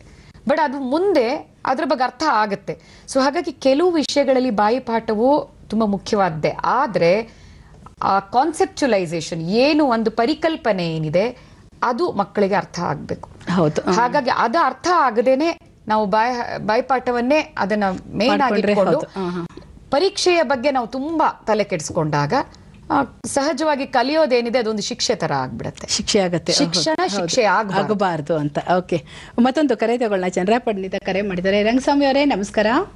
ಮೇಡಮ್ ನಮಸ್ತೆ. ಹೇಳಿ. ನಾನು ರಂಗಸ್ವಾಮಿ ಅಂತ ಮಹಾಲಕ್ಷ್ಮಿ ಅವ್ರ ತಂದೆ ಮಾತಾಡ್ತಿರೋದು. ಸರಿ. ನಾನು ನಿಗ್ಗೇಳಿ ಹೋಗ್ಲಿ ಇಲ್ಲಿ ಗೋಕುಲ ಕಾನ್ವೆಂಟ್ ಹತ್ರ ಮಗಳು ಓದ್ತಿದ್ಲು ಫಸ್ಟ್ ಸ್ಟ್ಯಾಂಡರ್ಡ್ ಆಹಾ, ನಾವು ಕನ್ನಡ ಮೀಡಿಯಂ ಓದ್ಬಿಟ್ಟು ಪಿ ಯು ವರ್ಗು ನಮ್ದು ಎಜುಕೇಶನ್ ಸ್ಟಾಪ್ ಆಗಿದೆ. ಸರಿ. ಆ, ಅದು ಮಗು ಮಗು ಏನಾಗಿದೆ ಅಂದ್ರೆ ಈಗ ಎಲ್ಲ ಅಂತಾರಾಷ್ಟ್ರೀಯ ಶಿಕ್ಷಣ ಪದ್ಧತಿ ಮತ್ತೆ ಸೆಂಟ್ರಲ್ ಸಿಲೆಬಸ್ ಮತ್ತೆ ಈ ಇಂಗ್ಲಿಷ್ ಸ್ಟೇಟ್ ಸಿಲೆಬಸ್ ಮೀಡಿಯಂ ಆಗಿದೆ ಮತ್ತೆ ಕನ್ನಡ ಗೌರ್ಮೆಂಟ್ ಇಂದ ಕನ್ನಡ ಮಾಧ್ಯಮ ಶಿಕ್ಷಣ ಆಗಿದೆ. ನನಗೆ ಒಂದು ಸಂಕೋಚ ಏನು ಮಗಳು ಅಂತಾರಾಷ್ಟ್ರೀಯ ಶಿಕ್ಷಣ ಮಟ್ಟದಲ್ಲಿ ಪೈಪೋಟಿ ಮಾಡ್ತಿರೋದು ಕಲಿತು ಕಲಿಸ್ತಾ ಇದ್ದಾರೆ ಬೆಂಗಳೂರು ಕಡೆ ಎಲ್ಲರ ಕಡೆ ನಾವು ಒಂದು ನಿಗ್ಗೆಯಲ್ಲಿ ಹೋಬಳಿ ಮಟ್ಟದಲ್ಲಿ ಒಂದು ಕನ್ನಡ ಸ್ಟೇಟ್ ಸಿಲೆಬಸ್ ಅನ್ನ ಕಲಿತಾ ಇದ್ದೆ ನನ್ನ ಮಗಳು. ಸರಿ ಸರಿ. ಆದರೆ ಆ ಮಗು ಒಂದು ಆ ಇಲ್ಲಿ ಕಲಿತಕ್ಕಂತ ವಿಧಾನ ಮತ್ತೆ ಅಲ್ಲಿ ಬೆಂಗಳೂರು ತ ಕಲಿತಕ್ಕಂತ ಅಂತಾರಾಷ್ಟ್ರೀಯ ಶಿಕ್ಷಣ ಪದ್ಧತಿಗೆ ವ್ಯತ್ಯಾಸ ಏನು ಆಗುತ್ತೆ ಮಗು? ಓಕೆ. ಇದು ಪರೀಕ್ಷೆಗೆ ನೇರವಾಗಿ ಸಂಬಂಧಪಟ್ಟಿದ್ದಲ್ಲದೆ ಇದ್ರೂ ಕೂಡ ಒಂದು ರೀತಿಯಲ್ಲಿ ಪರೋಕ್ಷವಾಗಿ ಸಂಬಂಧಪಟ್ಟಿರೋದ್ರಿಂದ ಒಂದು ಚುಟುಕಾಗಿ ಇದಕ್ಕೆ ಹೇಳಬಹುದು ಉತ್ತರವನ್ನ ಹೇಳ್ಬಹುದು ಅಂತ. ಅನ್ಸತ್ತೆ. ಆ, ಈಗ ರಂಗಸ್ವಾಮಿ ಅವರ ಪ್ರಶ್ನೆ ನಾವು ಸಂಕ್ಷಿಪ್ತವಾಗಿ ಹೇಳಬೇಕು ಅಂತಂದ್ರೆ ಈಗ ಹಳ್ಳಿಗಳಲ್ಲಿ ಓದುವಂತ ಅಸಂಖ್ಯಾತ ಮಕ್ಕಳು ನಮ್ಮ ಭಾರತದಲ್ಲಿದ್ದಾರೆ. ಅವರಿಗೂ ಬೆಂಗಳೂರಿನಂಥ ಬೆಂಗಳೂರಿನಂತ ಮಹಾನಗರಗಳಲ್ಲಿ ಅಂತಾರಾಷ್ಟ್ರೀಯ ಶಾಲೆಗಳಲ್ಲಿ ಓದುವಂತ ಮಕ್ಕಳ ಪಠ್ಯ ಪದ್ಧತಿಗೂ ವ್ಯತ್ಯಾಸ ಸಹಜವಾಗಿ ಇರುತ್ತೆ. ಹಾಗಾಗಿ ಅವ್ರು ಹೇಗೆ ಅವ್ರ ಜೊತೆಗೆ ಸ್ಪರ್ಧೆ ನಡೆಸೋದು ಅಂತ ಹೇಳಿ. ಆದ್ರೆ ಏನನ್ನ ಗಮನಿಸಬೇಕು? ಇಲ್ಲಿ ರಂಗಸ್ವಾಮಿ ಅವರಾಗ್ಲಿ ವಿದ್ಯಾರ್ಥಿಗಳಾಗಲಿ ವಿದ್ಯಾರ್ಥಿಗಳಾಗ್ಲಿ ಅಂತಂದ್ರೆ ಯಾವುದೇ ಶಿಕ್ಷಣದ ಪದ್ಧತಿಯಲ್ಲೂ ಕೂಡ ಒಂದು ಒಂದು ಬೇಸಿಕ್ ಮೂಲಭೂತ ಶಿಕ್ಷಣವನ್ನ ಎಲ್ಲ ಪದ್ಧತಿಗಳಲ್ಲೂ ಕೊಡುತ್ತೆ. ಈಗ ನೀವು ರಾಜ್ಯದ ರಾಜ್ಯ ಸರ್ಕಾರದ ಪಠ ಪಠ್ಯ ಪದ್ಧತಿಯ ಪುಸ್ತಕಗಳನ್ನೇ ಗಮನಿಸಿದ್ರೆ ಅವು ಸಿ ಬಿ ಎಸ್ ಸಿ ಕ್ರಮಕ್ಕೂ ಅವಕ್ಕೂ ಏನು ತುಂಬಾ ಡಿಫ್ರೆನ್ಸ್ ಇಲ್ಲ. ಆ ಶಾಲೆಗಳು ತಮ್ಮ ತಮ್ಮ ಒಂದು ಶಿಕ್ಷಣ ಕ್ರಮವನ್ನ ಇದು ಮಾಡಬಹುದೇ ಹೊರತು ಯಾವುದ್ರಲ್ಲೇ ಆಗ್ಲಿ ಒಂದು ಹಿಮದ ಮಂಜುಗಡ್ಡೆ ಹೇಗೆ ನೀರಾಗತ್ತೆ ಅನ್ನೋದು ಎಲ್ಲೂ ಚೇಂಜ್ ಆಗಲ್ಲ. ಅಮೆರಿಕದಲ್ಲೂ ಬದಲಾಗಲ್ಲ ಇಲ್ಲೂ ಬದಲಾಗಲ್ಲ ಯಾವ ಹಳ್ಳಿಲೂ ಬದಲಾಗಲ್ಲ. ಮಗುಗೆ ಮಾತೃಭಾಷಣ ಮಾತೃಭಾಷಾ ಶಿಕ್ಷಣದಲ್ಲಿ ತುಂಬಾ ಸುಲಭವಾಗಿ ಇದು ಅರ್ಥ ಅರ್ಥ ಆಗುತ್ತೆ. ಈಗ ಎಷ್ಟು ಇಂಗ್ಲಿಷ್ ಅಲ್ಲೇ ಇಂಗ್ಲಿಷ್ ಮೀಡಿಯಂ ಅಲ್ಲೇ ಓದ್ತಾ ಇರೋರಾದ್ರೂ ನಾನು ತುಂಬಾ ಸಲ ಹೇಳೋದಿದೆ ಇಂಗ್ಲಿಷ್ ಮೀಡಿಯಂ ಅಲ್ಲಿ ಓದ್ತಿರ್ತಾರೆ ಮಕ್ಕಳು ಆದ್ರೆ ಅವ್ರು ಯೋಚನೆ ಮಾಡೋದು ಮಾತ್ರ ಕನ್ನಡದಲ್ಲೇ ಹೌದು ಖಂಡಿತ. ಹಾಗಾಗಿ ನಾನು ಕೇಳಿದ್ರೆ ರಂಗಸ್ವಾಮಿ ಅವರು ಏನ್ ಗಮನಿಸ್ಬೇಕು ಅಂದ್ರೆ ಅಥವಾ ಅವರಂತ ಪೋಷಕರು ಏನ್ ಗಮನಿಸ್ಬೇಕು ಅಂದ್ರೆ ಮಾತೃಭಾಷಾ ಶಿಕ್ಷಣದಲ್ಲಿ ನಿಮ್ಮ ಮಗು ಓದ್ತಾ ಇದೆ ಅಂದ್ರೆ ಅದು ನಿಮ್ಗೆ ಒಂದು ತುಂಬಾ ದೊಡ್ಡ ಅಡ್ವಾಂಟೇಜ್ ಮುಂದಿನ ನಮ್ಮ ದಿನಗಳಲ್ಲಿ ಇದು ಖಂಡಿತವಾಗಿ ಗೊತ್ತಾಗುತ್ತೆ. ಆದ್ರೆ ಅದ್ರ ಜೊತೆಗೆ ಅವಳಿಗೆ ಬೇರೆ ಜಗತ್ತಿನ ಎಲ್ಲರ ಜೊತೆಗೆ ಒಂದು ಸಂವಹನ ಸಾಧ್ಯವಾಗ್ಲಿಕ್ಕಾಗಿ ಒಂದು ಭಾಷೆಯಾಗಿ ಇಂಗ್ಲಿಷ್ ಅನ್ನ ಕಲಿಸ್ಬೇಕು. ಅದಕ್ಕಸ್ಮಾತ್ ಇವಾಗ ಇದರಲ್ಲಿ ಪಠ್ಯಕ್ರಮದಲ್ಲಿ. ಇರುತ್ತೆ. ಐದನೇ ಕ್ಲಾಸ್ ಆರನೇ ಕ್ಲಾಸ್ ಮೇಲೆ ಅದು ಕನ್ನಡ ಇಂಗ್ಲಿಷ್ ಬರುತ್ತೆ ಇಲ್ಲದೆ ಇದ್ರೂನು ಈಗ ಒಂದನೇ ಕ್ಲಾಸ್ ಇಂದನೇ ಇಂಗ್ಲಿಷ್ ಅನ್ನ ಬೇರೆ ಬೇರೆ ವಿಧಗಳಿಂದ ಕಲಿಸೋದಕ್ಕೆ ಸಾಧ್ಯ ಇದೆ ಭಾರತದ ಯಾವುದೇ ಹಳ್ಳಿಲಿ ಇದ್ರೂ ಕೂಡ ಅಂತರ್ಜಾಲದ ಸೌಲಭ್ಯ ಇದೆ. ಟಿವಿಯಲ್ಲಿ ಯು ಜಿ ಸಿ ಪ್ರೋಗ್ರಾಮ್ಸ್ ಎಷ್ಟೆಲ್ಲ ಬರುತ್ತೆ ಅದರ ಉಪಯೋಗವನ್ನ ನಾವು ಪಡ್ಕೊಳ್ಬೇಕು. ಹಾಗಾಗಿ ಇಂಗ್ಲಿಷ್ ಒಂದು ಇದಾಗಿ ಕಲಿಸ್ತೇವೆ ಕನ್ನಡ ಮೀಡಿಯಂ ಅಂತ ಆಗ್ಲಿ ಅಥವಾ ಹಳ್ಳಿ ಅಂತ ಆಗಲಿ ಯಾವುದೇ ರೀತಿ ಕೀಳರಿಮೆ ಅವರಲ್ಲಿ ಬೇಡ. ಖಂಡಿತ. ಎಂತ ಹಳ್ಳಿಗಳಲ್ಲಿ ಓದಿದವರು ಮುಂದೆ ಬಂದು ದೊಡ್ಡ ದೊಡ್ಡ ಮಹಾನ್ ವ್ಯಕ್ತಿಗಳಾಗಿದ್ದಾರೆ ಅಂತ ನಾವು ಅವ್ರಿಗೊಂದು ಮಾತು ಹೇಳಿ ಮತ್ತೆ ನಾವು ಪರೀಕ್ಷೆ ಬಗ್ಗೆ ಮಾತಾಡ್ತಾ ಬಂದ್ರೆ ಆ, ಹೇಳಿ. ಅಂದ್ರೆ ಈಗ ಸಿದ್ಧತೆ ಆಗಿರೋದಿಲ್ಲ ಯಾವಾಗಿಂದ ಸಿದ್ಧತೆ ಅಂತ ನಾನು ತಮ್ಮನ್ನು ಕೇಳ್ತಾ ಇದ್ದೆ? ಯಾವಾಗಿಂದ ಸಿದ್ಧತೆ ಅಂದ್ರೆ ನಾನು ಹೇಳಿದ್ನಲ್ಲ ಈಗ ಈಗ ಪರೀಕ್ಷೆ ಅನ್ನೋದನ್ನ ಒಂದು ಕೇಂದ್ರವಾಗಿ ಇಟ್ಟುಕೊಳ್ಳದೇನೆ ಓದೋದು ಕೂಡ ಅದನ್ನು ನಮ್ಗೊಂದು ಆನಂದದ ವಿಷಯ ನಮ್ಮ ಜ್ಞಾನದ ವಿಷಯ ಅಂತ ಹೇಳಿ ಮಕ್ಕಳು ಓದ್ಕೊಂಡ್ ಬರ್ಬೇಕಾಗತ್ತೆ. ಇವಾಗ ಆ ಓದೇ ಇಲ್ಲ ಅಂತ ಇಟ್ಕೊಳ್ಳೋಣ. ಇವಾಗ ನಮ್ಗೆ ಏನೋ ಅವಾಗ ಬುದ್ಧಿ ಇರ್ಲಿಲ್ಲಪ್ಪ ನಾವು ತುಂಬಾ ಟೈಮ್ ವೇಸ್ಟ್ ಮಾಡ್ಬಿಟ್ಟಿದೀವಿ. ಹಾಗಿದ್ದಾಗ ನನ್ನ ಹತ್ರ ಬಂದು ತುಂಬಾ ಜನ ಸ್ಟೂಡೆಂಟ್ಸ್ ಹೇಳ್ತಾರೆ ಏನಂದ್ರೆ ಆ, ನಮ್ಮ ಮತ್ತೊಬ್ಬ ಫ್ರೆಂಡು ಓದೇ ಇರ್ಲಿಲ್ಲ ಲಾಸ್ಟ್ ಒಂದ್ ತಿಂಗಳಲ್ಲಿ ಕುತ್ಕೊಂಡು ಓದ್ಬಿಟ್ಟು ಫಸ್ಟ್ ರ್ಯಾಂಕ್ ಬಂದ್ಬಿಟ್ಟ ತುಂಬಾ ಪರ್ಸೆಂಟೇಜ್ ತೆಗೆದ್ಬಿಟ್ಟ. ಹಾ ನಮ್ಮ ಮತ್ತೊಂದಿಷ್ಟು ಫ್ರೆಂಡ್ಸು ತುಂಬಾ ಓದ್ತಾ ಕೂತಿರ್ತಿದ್ರು ಫಸ್ಟ್ ಇಂದ ಆದ್ರೆ ಅವ್ರು ಫೇಲ್ ಆಗ್ಬಿಟ್ರು ಅಂತ. ಈ ರೀತಿಯ ಉದಾಹರಣೆಗಳೇನ್ ತುಂಬಾ ಅಪರೂಪ ಏನಲ್ಲ. ಹೌದು ಆದ್ರೆ ಏನನ್ನ ಗಮನಿಸ್ಬೇಕು ಆ ತರದ ಸಾಮರ್ಥ್ಯ ಕೆಲವು ಮಕ್ಕಳಿಗೆ ಇರಬಹುದು. ಅವ್ರು ಯಾವ್ದೋ ರೀತಿಲಿ ಮಧ್ಯೆ ಮಧ್ಯೆ ಓದ್ಕೊಂಡಿರ್ಬೋದು. ಈಗ ನಾವು ಹೋಗಿ ನೋಡಿರಲ್ವಲ್ಲ ಅವರನ್ನ. ಅಥವಾ ಶಾಲೆಯಲ್ಲಿ ಹೇಳುವ ಕೇಳಿಸ್ಕೊಂಡು ಅದು ಅವ್ರ ಗ್ರಾಹಿಗಳು. ಅಂತ ಹೇಳಿ ಹೇಳ್ತೀವಿ ನಾವು. ಕೆಲವರು ಆ, ರಾತ್ರಿ ಎಲ್ಲ ಕುತ್ಕೊಂಡು ಓದಲ್ಲ. ಆದ್ರೆ ತರಗತಿಯಲ್ಲಿ ಕುತ್ಕೊಂಡು ಕೇಳಬೇಕಾದ್ರೆ ಒಂದು ಸಲಕ್ಕೆ ಕೇಳಿಸ್ ಕೇಳ್ಕೊಂಡು ಗಮನ ಇಟ್ಟು ಕೇಳಿದಾಗ ಅದು ಖಂಡಿತವಾಗಿ ನಮ್ಮ ಮೆದುಳಲ್ಲಿ ದಾಖಲಾಗುತ್ತೆ. ಆಗಿರುತ್ತೆ ಮತ್ತೆ ಗುಂಪಿನಲ್ಲಿ ಸಮೂಹವಾಗಿ ಸಂವಹನ ಏನಾಗಿರುತ್ತೆ ಅದು ತುಂಬಾ ಉಪಯುಕ್ತವಾದಂಥದ್ದು. ಇದನ್ನ ಎಲ್ಲ ವಿದ್ಯಾರ್ಥಿಗಳು ಗಮನಿಸಬೇಕು. ಈಗ ಮುಂದಿನ ವರ್ಷ ಎಕ್ಸಾಮ್ ತಗೋಬೇಕಾದ್ರೂ ಕೂಡ ಇದನ್ನ ಉಪಯೋಗಿಸ್ಕೊಳಕ್ಕೆ ಸಾಧ್ಯ ಇದೆ. ಹೌದು ಇವತ್ತಿನ ಕಾರ್ಯಕ್ರಮ ಬರೀ ಈ ಪರೀಕ್ಷೆಗೆ ಉಪಯೋಗ ಆಗತ್ತೆ ಅಂತಲ್ಲ. ಪರೀಕ್ಷೆಯ ಸುತ್ತಮುತ್ತ ಅಂದ್ರೆ ಮುಂದಿನ ಪರೀಕ್ಷೆಗಳಿಗೂ ಅದು ಉಪಯುಕ್ತ ಆಗೋದಕ್ಕೆ ಸಾಧ್ಯ ಇದೆ. ಸೊ ಹಾಗಾಗಿ ಗುಂಪು ಸಂವಹನ ಸಮೂಹ ಸಂವಹನ ಯಾವಾಗ್ಲೂ ಒಂದ್ ರೀತಿಯ ಕನೆಕ್ಟೆಡ್ನೆಸ್ ಇರುತ್ತೆ. ಹಾಗಾಗಿ ಅದ್ ನಾವು ಗ್ರಾಸ್ ಮಾಡ್ಕೊಳ್ಳೋದು ಗ್ರಹಿಕೆ ಏನಿರುತ್ತೆ ಅದು ತುಂಬಾ ಶೀಘ್ರವಾಗಿ ಆಗಿರುತ್ತೆ. ಅದಕ್ಕೆ ಈಗ ಶಾಲೆಗೆ ಯಾಕೆ ಹೋಗ್ಬೇಕು? ಈಗ ಪರೀಕ್ಷೆಗೆ ನಾವು ಮನೆಯಲ್ಲೇ ಓದ್ಕೊಂಡು ಪ್ರಿಪೇರ್ ಮಾಡಿ ಎಕ್ಸಾಮ್ ಕಟ್ಬಹುದಲ್ಲ. ಹಂಗ್ ಮಾಡ್ದೇನೆ ಸರ್ಕಾರ ಒಂದು ಪಠ್ಯ ಪದ್ಧತಿ ಕ್ರಮವನ್ನ ರೂಪಿಸಿರೋದೇ ಅದಕ್ಕೆ. ಒಂದು ಶಾಲೆಯಲ್ಲಿ ಇಂಥ ತರಗತಿಯಲ್ಲಿ ಕುತ್ಕೊಂಡು ಕಲಿಬೇಕು ಅನ್ನುವಂಥದ್ದು. ಹಾಗಾಗಿ ಅಲ್ಲಿಂದ ಸಿದ್ಧತೆ ಶುರು. ಆ ಅಕಸ್ಮಾತ್ ಅದು ಯಾವುದು ಆಗೇ ಇಲ್ಲ ಅಂತ ಇಟ್ಕೊಳ್ಳೋಣ. ಆವಾಗ ನಾವೇನ್ ಮಾಡ್ಬೇಕು? ಈಗ ನಮ್ಗೆ ಉಳಿದಿರುವಂತ ಸಮಯದಲ್ಲಿ ಈಗ ಒಂದು ತಿಂಗಳಿದೆ ಅಂತ. ಇಟ್ಕೊಳ್ಳೋಣ. ಈ ಒಂದು ತಿಂಗಳಲ್ಲಿ ನಾವು ಯಾವ ಪಠ್ಯಕ್ರಮವನ್ನ ತಕ್ಷಣ ಮುಗಿಸೋದಕ್ಕೆ ಸಾಧ್ಯ ಇದೆ. ಈಗ ನಮ್ಮ ಸಮಯವನ್ನ ವೇಳಾಪಟ್ಟಿಯನ್ನ ತುಂಬಾ ಸದುಪಯೋಗ ಪಡಿಸ್ಕೊಳ್ಳೋದು. ಅಂದ್ರೆ ಒಂದು ನಿಮಿಷವೂ ಕೂಡ ವ್ಯರ್ಥ ಆಗದೇ ಇರೋ ರೀತಿಯಲ್ಲಿ ನಾವು ಅದನ್ನ ಉಪಯೋಗಿಸೋದು. ಅದು ಇದೆಲ್ಲವೂ ಸಾಧ್ಯ ಯಾವಾಗ ಅಂದ್ರೆ ವಿದ್ಯಾರ್ಥಿಗೆ ಸ್ವತಃ ಆಸಕ್ತಿ ಇರಬೇಕು. ಹೌದು. ಈಗ ಸಮಯವನ್ನ ನಾವು ಉಪಯೋಗಿಸ್ಕೋಬೇಕು ವೇಳಾಪಟ್ಟಿಯನ್ನ ಮಾಡಬೇಕು ಈಗ ಎಂ ಡಿ ಎಕ್ಸಾಮ್ ಅಲ್ಲೇ ನಾವು ಪಿ ಜಿ ಎಕ್ಸಾಮ್ಸ್ಗೆ ಓದ್ಬೇಕಾದ್ರೆ ಎಂ ಬಿ ಬಿ ಎಸ್ ವಿದ್ಯಾರ್ಥಿಗಳು ಎಂ ಡಿ ಎಂಟ್ರೆನ್ಸ್ಗೆ ಓದ್ಬೇಕಾದ್ರೆ ಹದಿನಾರು ಗಂಟೆಗಳ ಕಾಲ ಓದ್ತಾರೆ. ಈಗ ಹದಿನಾರು ಗಂಟೆಗಳ ಕಾಲ ಯಾಕೆ ಓದ್ತಾರೆ ಅಂತ ಪ್ರಶ್ನೆ ಬಂದಾಗ ಅವ್ರ ತಂದೆ ತಾಯಿಯರು ಕುತ್ಕೊಂಡು ನೀನು ಓದ್ಲೇಬೇಕು ಅಂತ ಹೇಳಿದ್ರೆ ಅದು ಸಾಧ್ಯನೇ ಇಲ್ಲ. ಆಗಲ್ಲ ಹೌದು. ಅಲ್ಲಿ ಸ್ವತಃ ಸ್ವತಃ ವಿದ್ಯಾರ್ಥಿ ಆದವಳು ಅದನ್ನ ಗಮನಿಸ್ಬೇಕು. ತನ್ಗೆ ಅಂತ. ಅದು ಯಾವಾಗ ಮಾಡ್ತಾರೆ ವಿದ್ಯಾರ್ಥಿಗಳು ಅನ್ನೋ ಪ್ರಶ್ನೆ ಸಹಜ. ಯಾಕೆ ಮಾಡೋದಿಲ್ಲ ಹಾಗಿದ್ರೆ ಎಲ್ಲ ವಿದ್ಯಾರ್ಥಿಗಳು ಅಂತ?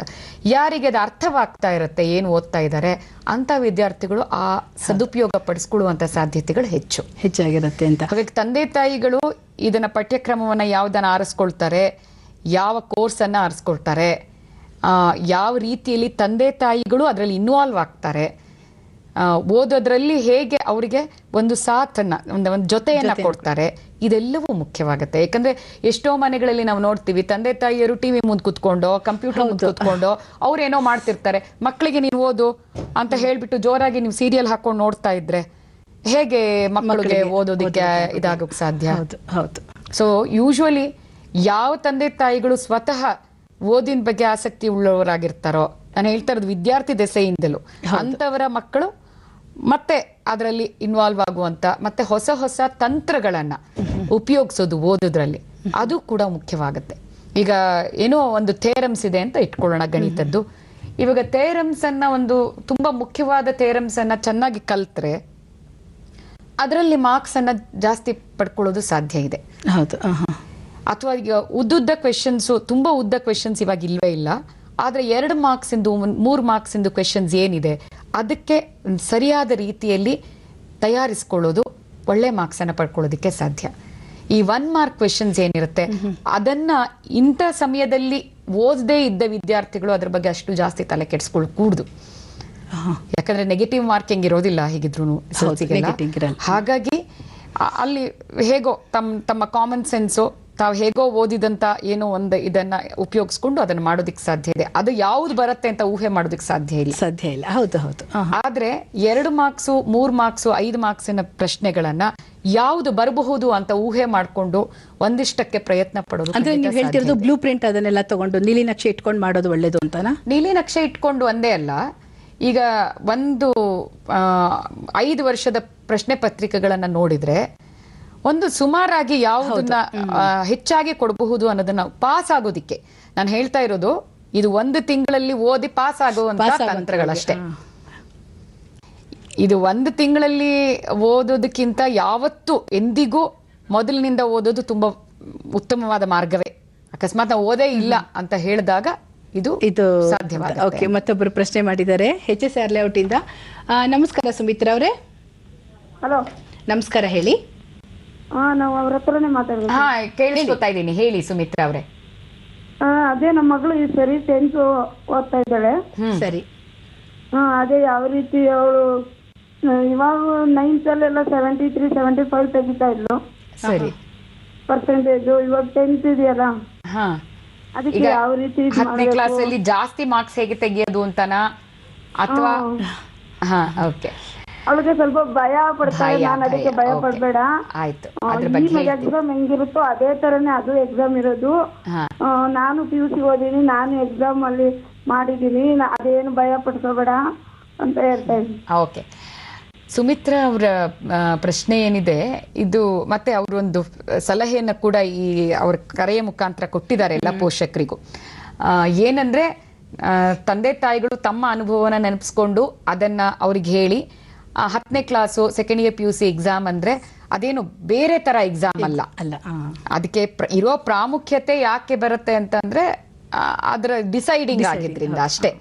ಆದ್ರೆ ಅದನ್ನ ಸುಮಿತ್ರಾ ಅವರು ಹೇಳಿದ ಹಾಗೆ ತುಂಬಾ ಸಹಜವಾಗಿ ಈಗ ಒಂಬತ್ತನೇ ಕ್ಲಾಸಿನ ಪರೀಕ್ಷೆಯನ್ನ ಎಪ್ಪತ್ಮೂರು ಪರ್ಸೆಂಟ್ ತೆಗೆದಂತ ಬಾಲಕಿ ಅದಕ್ಕೆ ಆ ಕಾನ್ಫಿಡೆನ್ಸ್ ಇಂದ ಹೋಗ್ಬೇಕು. ಓ ನನಗೆ ಒಂಬತ್ತನೇ ಕ್ಲಾಸಲ್ಲಿ ಎಪ್ಪತ್ಮೂರು ಪರ್ಸೆಂಟ್ ಬಂದಿದೆ. ಹಾಗಾಗಿ ನಾನು ಚೆನ್ನಾಗಿ ಮಾಡೋದಕ್ಕೆ ನನಗೆ ಎಲ್ಲ ಅರ್ಹತೆಗಳಿದೆ. ಅನ್ನುವಂಥ ಆ ಆತ್ಮವಿಶ್ವಾಸ ತುಂಬಾ ಮಕ್- ಮುಖ್ಯ ಎಲ್ಲ ಮಕ್ಕಳಿಗೆ. ಹೌದು. ಅದರ ಜೊತೆಗೆ ಆ, ಸುಮಿತ್ರಾ ಅವರು ಹೇಳಿದ ಹಾಗೆ ಅದೇನು ಹೆದರ್ಬೇಕಾಗಿಲ್ಲ. ನೀವು ಹೋಗಿ ಅಂತ ಹೇಳಿ ತಂದೆ ತಾಯಿಗಳು ಆತಂಕನ ಕಮ್ಮಿ ಮಾಡಬೇಕು. ಅದರ ಮೇಲೆ ಮತ್ತು ಉತ್ತಮ ಅಂಕಗಳನ್ನ ಗಳಿಸೋದು ಹೇಗೆ ಅನ್ನೋದು ಸುಮಿತ್ರಾ ಅವರ ಇನ್ನೊಂದು ಅಂಶ ಹೌದು ಯಾಕಂದ್ರೆ ಅದನ್ನ ಒಂದ್ ರೀತಿ ಎಲ್ಲರಿಗೂ ಸೇರಿಸಿ ಹೇಳೋಣ. ಯಾಕಂದ್ರೆ ಇನ್ನು ಒಂದು ತಿಂಗಳಿದೆ ಎಸ್ ಎಸ್ ಎಲ್ ಸಿ ಜೊತೆ ಪಿ ಯು ಸಿ ಪರೀಕ್ಷೆಗಳು ಬರ್ತಾ ಇವೆ. ಒಂದು ಆವರೇಜ್ ಇರುವಂತಹ ಮಕ್ಕಳಾಗ್ಲಿ ಸ್ವಲ್ಪ ಅಥವಾ ಎಬೋ ಅವರೇಜ್. ಮಕ್ಕಳು ಹೇಗೆ ಓದ್ಕೋಬೇಕು ಓದ್ಕೋಬೇಕು ಅಂತ. ಇವಾಗ ಯಾವುದೇ ಪರೀಕ್ಷೆಯ ಹಿಂದಿನ ಒಂದು ತಿಂಗಳ ಸಿದ್ಧತೆ ಹಿಂದಿನ ದಿವಸದ ಸಿದ್ಧತೆ ಏನಿರುತ್ತೆ ಅದು ಅವ್ರ ಪರೀಕ್ಷೆಯಲ್ಲಿ ಎಷ್ಟು ಚೆನ್ನಾಗಿ ಮಾಡ್ತಾರೆ ಅನ್ನೋದಕ್ಕೆ ಕೂಡ ಕಾರಣ ಆಗುತ್ತೆ. ಸರಿ ಸರಿ. ಅಂದ್ರೆ ಎಪ್ಪತ್ತ್ ಮೂರು ಪರ್ಸೆಂಟ್ ತೆಗಿತಾ ಇದ್ದಿದ್ ವಿದ್ಯಾರ್ಥಿ ತೊಂಬತ್ ಪರ್ಸೆಂಟ್ ತೆಗಿಯೋ ಹಾಗೆ.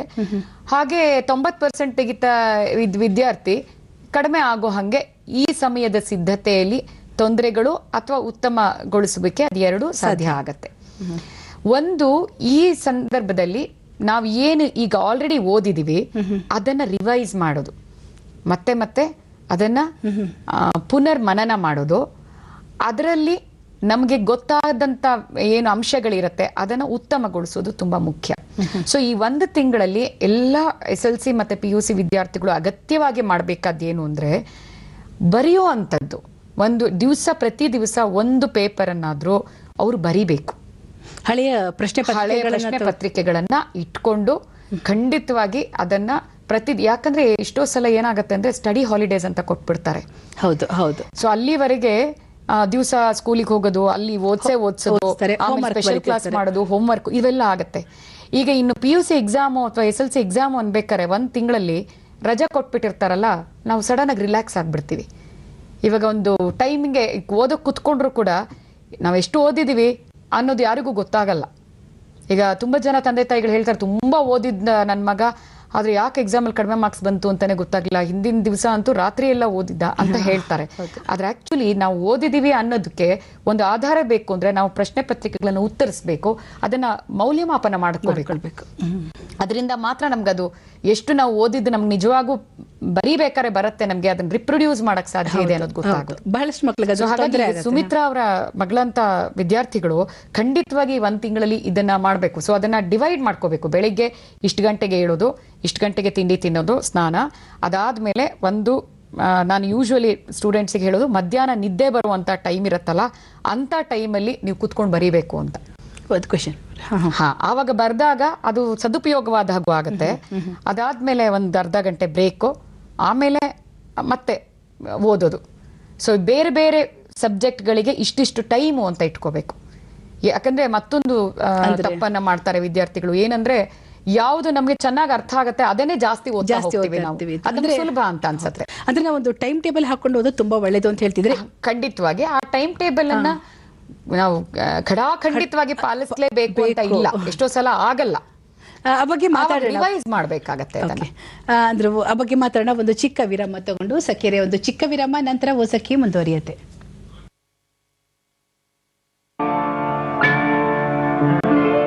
ನಾ ನಿನಗೆ ನೀ ನನಗೆ ನಾ ನಿನಗೆ ನೀ ನನಗೆ ಜೇನಾಗುವ.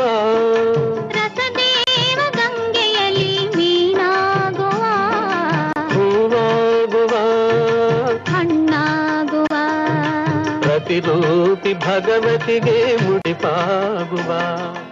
ಮರಕ್ಕೆ ಬಳ್ಳಿಯ ಆಸರೆ ಬಳ್ಳಿಗೆ ಮರದ ಆಸರೆ ಹೆಣ್ಣಿಗೆ ಗಂಡಿನ ಆಸರೆ ಗಂಡಿಗೆ ಹೆಣ್ಣಿನ ಆಸರೆ ಇದು ಪ್ರಕೃತಿಯ ನಿಯಮ. ಈ ದೃಷ್ಟಿಯಲ್ಲಿ ಬೆಂಗಳೂರು ದೂರದರ್ಶನ ಚಂದನ ವಾಹಿನಿಯು ಒಂದು ವಿಶೇಷ ವಿಶಿಷ್ಟ ಕಾರ್ಯಕ್ರಮವನ್ನ ಹೊತ್ತು ತಂದಿದೆ. ಸಂಗಾತಿ. ಸಂಪ್ರೀತಿ. ಇದು ದಾಂಪತ್ಯ ನೀತಿ. ಈ ಕಾರ್ಯಕ್ರಮದಲ್ಲಿ ನಾಡಿನ ಖ್ಯಾತ ಜನಪ್ರಿಯ ಜೋಡಿಗಳ ಜೊತೆ ಇನ್ನೊಂದು ಜೋಡಿ ಸ್ವಲ್ಪ ಮಾತುಕತೆ, ಹಾಡು ಹರಟೆಯಲ್ಲಿ. ಮತ್ತೆ ಕಳೆದು ಹೋಗುತ್ತಾ ಇರುವಂತಹ ಕೌಟುಂಬಿಕ ಪ್ರೀತಿ ಮತ್ತು ಸಾಮಾಜಿಕ ಮೌಲ್ಯವನ್ನು ಕಟ್ಟಿಕೊಡುವಲ್ಲಿ ನಮ್ಮ ಈ ಚಿಕ್ಕ ಪ್ರಯತ್ನ. ಮದುವೆಯ ಈ ಬಂಧ, ಅನುರಾಗದ ಅನುಬಂಧ. ಏಳೇಳು, ಜನುಮದಲು ತೀರದ ಸಂಬಂಧ.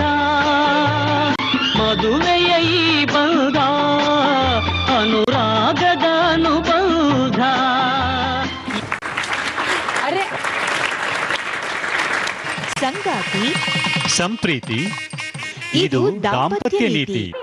ಪ್ರತಿ ಭಾನುವಾರ ಬೆಳಿಗ್ಗೆ ಹನ್ನೊಂದು ಮೂವತ್ತಕ್ಕೆ. ಮರುಪ್ರಸಾರ ಸೋಮವಾರ ರಾತ್ರಿ ಎಂಟು ಗಂಟೆ. ತಪ್ಪದೇ ವೀಕ್ಷಿಸಿ. ಮತ್ತೊಮ್ಮೆ ಕಾರ್ಯಕ್ರಮಕ್ಕೆ ಸ್ವಾಗತ. ಈಗ ಪರೀಕ್ಷಾ ಭಯ ಅಂತ ನಾವು ಮಾತಾಡಬೇಕಾದ್ರೆ ಕೆಲವ್ರಿಗೆ ಏನಾಗುತ್ತೆ ಅಂದರೆ ಎಕ್ಸಾಮ್ಗೆ ಹೋಗಿ ಒಂದು ಪ್ರಶ್ನೆ ಪತ್ರಿಕೆ ಅಂತ ಕೊಟ್ಟ ತಕ್ಷಣನೇ ಕ್ವಶನ್ ಪೇಪರ್ ನೋಡಿದ್ರೆ ಭಯ ಆಗುತ್ತೆ. ಏನು ಹೇಳ್ತೀರಾ ಅದ್ರ ಬಗ್ಗೆ? ಅದು ಭಯವನ್ನ ಗೆಲ್ಲೋದು ಹೇಗೆ? ಆ ಭಯ ಹೇಗೆ ಕಾಣಿಸತ್ತೆ ಅಂದ್ರೆ ಸಡನ್ ಆಗಿ ಬ್ಲಾಂಕ್ ಆಗ್ಬಿಡೋದು. ಅಂದ್ರೆ ಏನು ಹೊಳಿದೆ ಇರೋದು. ನಂಗೆ ಏನ್ ಮಾತಾಡ್ ಏನ್ ಮಾಡ್ಬೇಕು ಅಂತಾನೆ ಗೊತ್ತಾಗ್ತಾ ಇಲ್ಲ ಅನ್ನೋ ತರ ಅದ್ರಲ್ಲಿ ಎರಡು ತರ ಭಯಗಳು ಇದೆ. ಒಂದು ಆ ಪರೀಕ್ಷೆಯಲ್ಲಿ ಉದ್ದ ಪ್ರಶ್ನೆ ಪತ್ರಿಕೆಯನ್ನು ಕೊಡ್ತಾರೆ. ಎಲ್ಲದನ್ನು ಓದ್ಬೇಕು ಫಸ್ಟಿಗೆ ಅನ್ನೋದು ಅದಕ್ಕೆ ಕೆಲವು. ಇರುತ್ತೆ? ಅದು ಓದಿದ ತಕ್ಷಣ ಎಲ್ಲೋ ಒಂದು ನಮಗೆ ಬರ್ದೇ ಇರೋ ಪ್ರಶ್ನೆ ಬಂದ್ಬಿಟ್ಟಿರುತ್ತೆ. ಯಾವುದೋ ಒಂದು ಕಷ್ಟದ ಪ್ರಶ್ನೆ ಬಂದಿರುತ್ತೆ. ಅದರ ಆತಂಕ ಏನಿರುತ್ತೆ? ಅದು ಬೇರೆ ಎಲ್ಲ ಪ್ರಶ್ನೆಗಳ ಉತ್ತರದ ಮೇಲೆ ಕೂಡ ಪರಿಣಾಮ ಬೀರಕ್ಕೆ ಶುರುವಾಗತ್ತೆ. ಸೊ ಹಾಗಾಗಿ ವಿದ್ಯಾರ್ಥಿಗಳು ಏನ್ ಗಮನಿಸಬೇಕು ಅಂದ್ರೆ ಯಾವುದೇ ಪ್ರಶ್ನೆ ಪತ್ರಿಕೆಯಲ್ಲಿ ಒಂದು ಐದು ಮಾರ್ಕ್ಸ್ ಇಂದು ಪ್ರಶ್ನೆ ನಿಮಗೆ ಬರಲ್ಲ ಅಂತಂದ್ರೆ ಅದು ಪರವಾಗಿಲ್ಲ. ಅದನ್ನ ಬಿಡಿ ಲಾಸ್ಟಿಗೆ ಅದನ್ನ ಇಟ್ಕೊಳ್ಳಿ. ಪರೀಕ್ಷೆಯನ್ನ ಯಾವ ಪ್ರ- ಪ್ರಶ್ನೆ ಪತ್ರಿಕೆನ ಯಾವ ಆರ್ಡರ್ ಬೇಕಾದ್ರೂ ನಾವು ಉತ್ತರಿಸಬಹುದು. ಹಾಗಿದ್ದಾಗ ನೀವು ಫಸ್ಟ್ ಅದನ್ನ ಇಟ್ಟಿರಿ ಅದನ್ನ ಆಮೇಲೆ ನೋಡ್ಕೊಂಡ್ರಾಯ್ತು. ಅದಾದ್ಮೇಲೆ ಎಲ್ಲವನ್ನೂ ಮುಗಿಸಿದ ಮೇಲೆ ಅದ್ರ ಬಗ್ಗೆ ಎಷ್ಟು ನಮಗೆ ಸಾಧ್ಯನೋ ಅಷ್ಟನ್ನ ಬರೆದು ಬರೋದು ಜಾಣತನ. ಹೆಚ್ಚಿನ ಸಮಯ ಯಾವುದೇ ಪ್ರಶ್ನೆ ಪತ್ರಿಕೆಯಲ್ಲಿ ನೂರಕ್ಕೆ ನೂರು ನಮಗೆ ಬರ್ತಾ ಇದ್ರೂ ಕೂಡ ನಾವು ಬರಿಬೇಕಾದ್ರೆ ಎಲ್ಲವನ್ನು ಬರೆಯೋದಕ್ಕೆ ಸಾಧ್ಯ ಆಗಿಲ್ಲ. ಹೌದು. ಎಲ್ಲೋ ಒನ್ ಮಾರ್ಕು ಅದು ಪರವಾಗಿಲ್ಲ. ಆದರೆ ಇನ್ನು ಕೆಲವು ಸಲ ಏನಾಗುತ್ತೆ ಅಂದ್ರೆ ಆತಂಕ ತುಂಬಾ ಜಾಸ್ತಿಯಾಗಿ ಅವರಿಗೆ ಕೈಕಾಲೆಲ್ಲ ನಡ್ಗಕ್ ಶುರು ಆಗೋದು ಬಾಯಿ ಒಣಗೋದು ಹೌದು, ಏನು ಮಾಡಕ್ಕಾಗದೆ ಇರೋದು ಸಡನ್ ಆಗಿ ಮೂತ್ರಕ್ಕೆ ಹೋಗ್ಬೇಕು ಅಂತ ಅನ್ಸೋದು. ಹೌದು. ಈ ರೀತಿಯ ಲಕ್ಷಣಗಳು ಕೂಡ ಕೆಲವು ಮಕ್ಕಳಲ್ಲಿ ಕಾಣುತ್ತೆ. ಓಕೆ ಆ ಬಗ್ಗೆ ಮಾತಾಡೋಣ ಒಂದು ಕರೆನ ತಗೊಂಡು.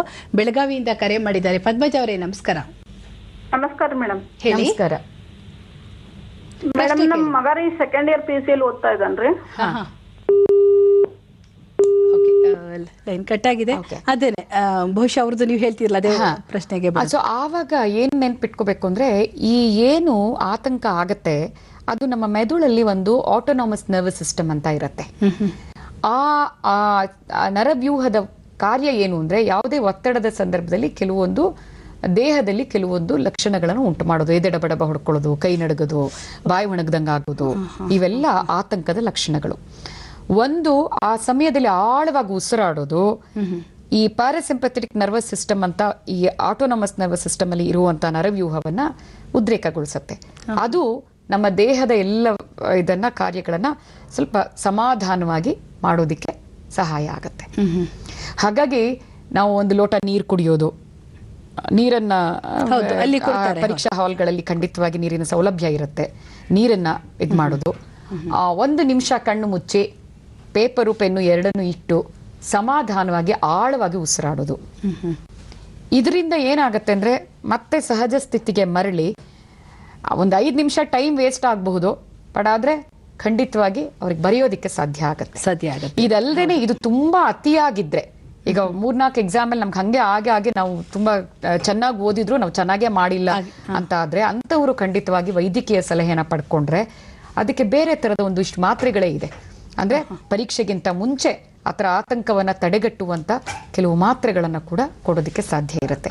ಅಂದ್ರೆ ಅದ್ ತುಂಬಾ ಕಡಿಮೆ ವಿದ್ಯಾರ್ಥಿಗಳಲ್ಲಿ ಅದು ಬೇಕಾಗತ್ತೆ. ಹೆಚ್ಚಿನವರಲ್ಲಿ ಈ ಕೆಲವು ನಾನು ಹೇಳಿದಂತ ವಿಧಾನಗಳನ್ನ ಅನುಸರಿಸಿದ್ರೆ ಅದು ಸಾಕಾಗತ್ತೆ. ಕೆಲವರಲ್ಲಿ ಅದು ತುಂಬಾ ಅತಿ ಆತಂಕದ ಫೋಬಿಯಾ ಅಂತ ನಾವ್ ಏನ್ ಹೇಳ್ತೀವಿ?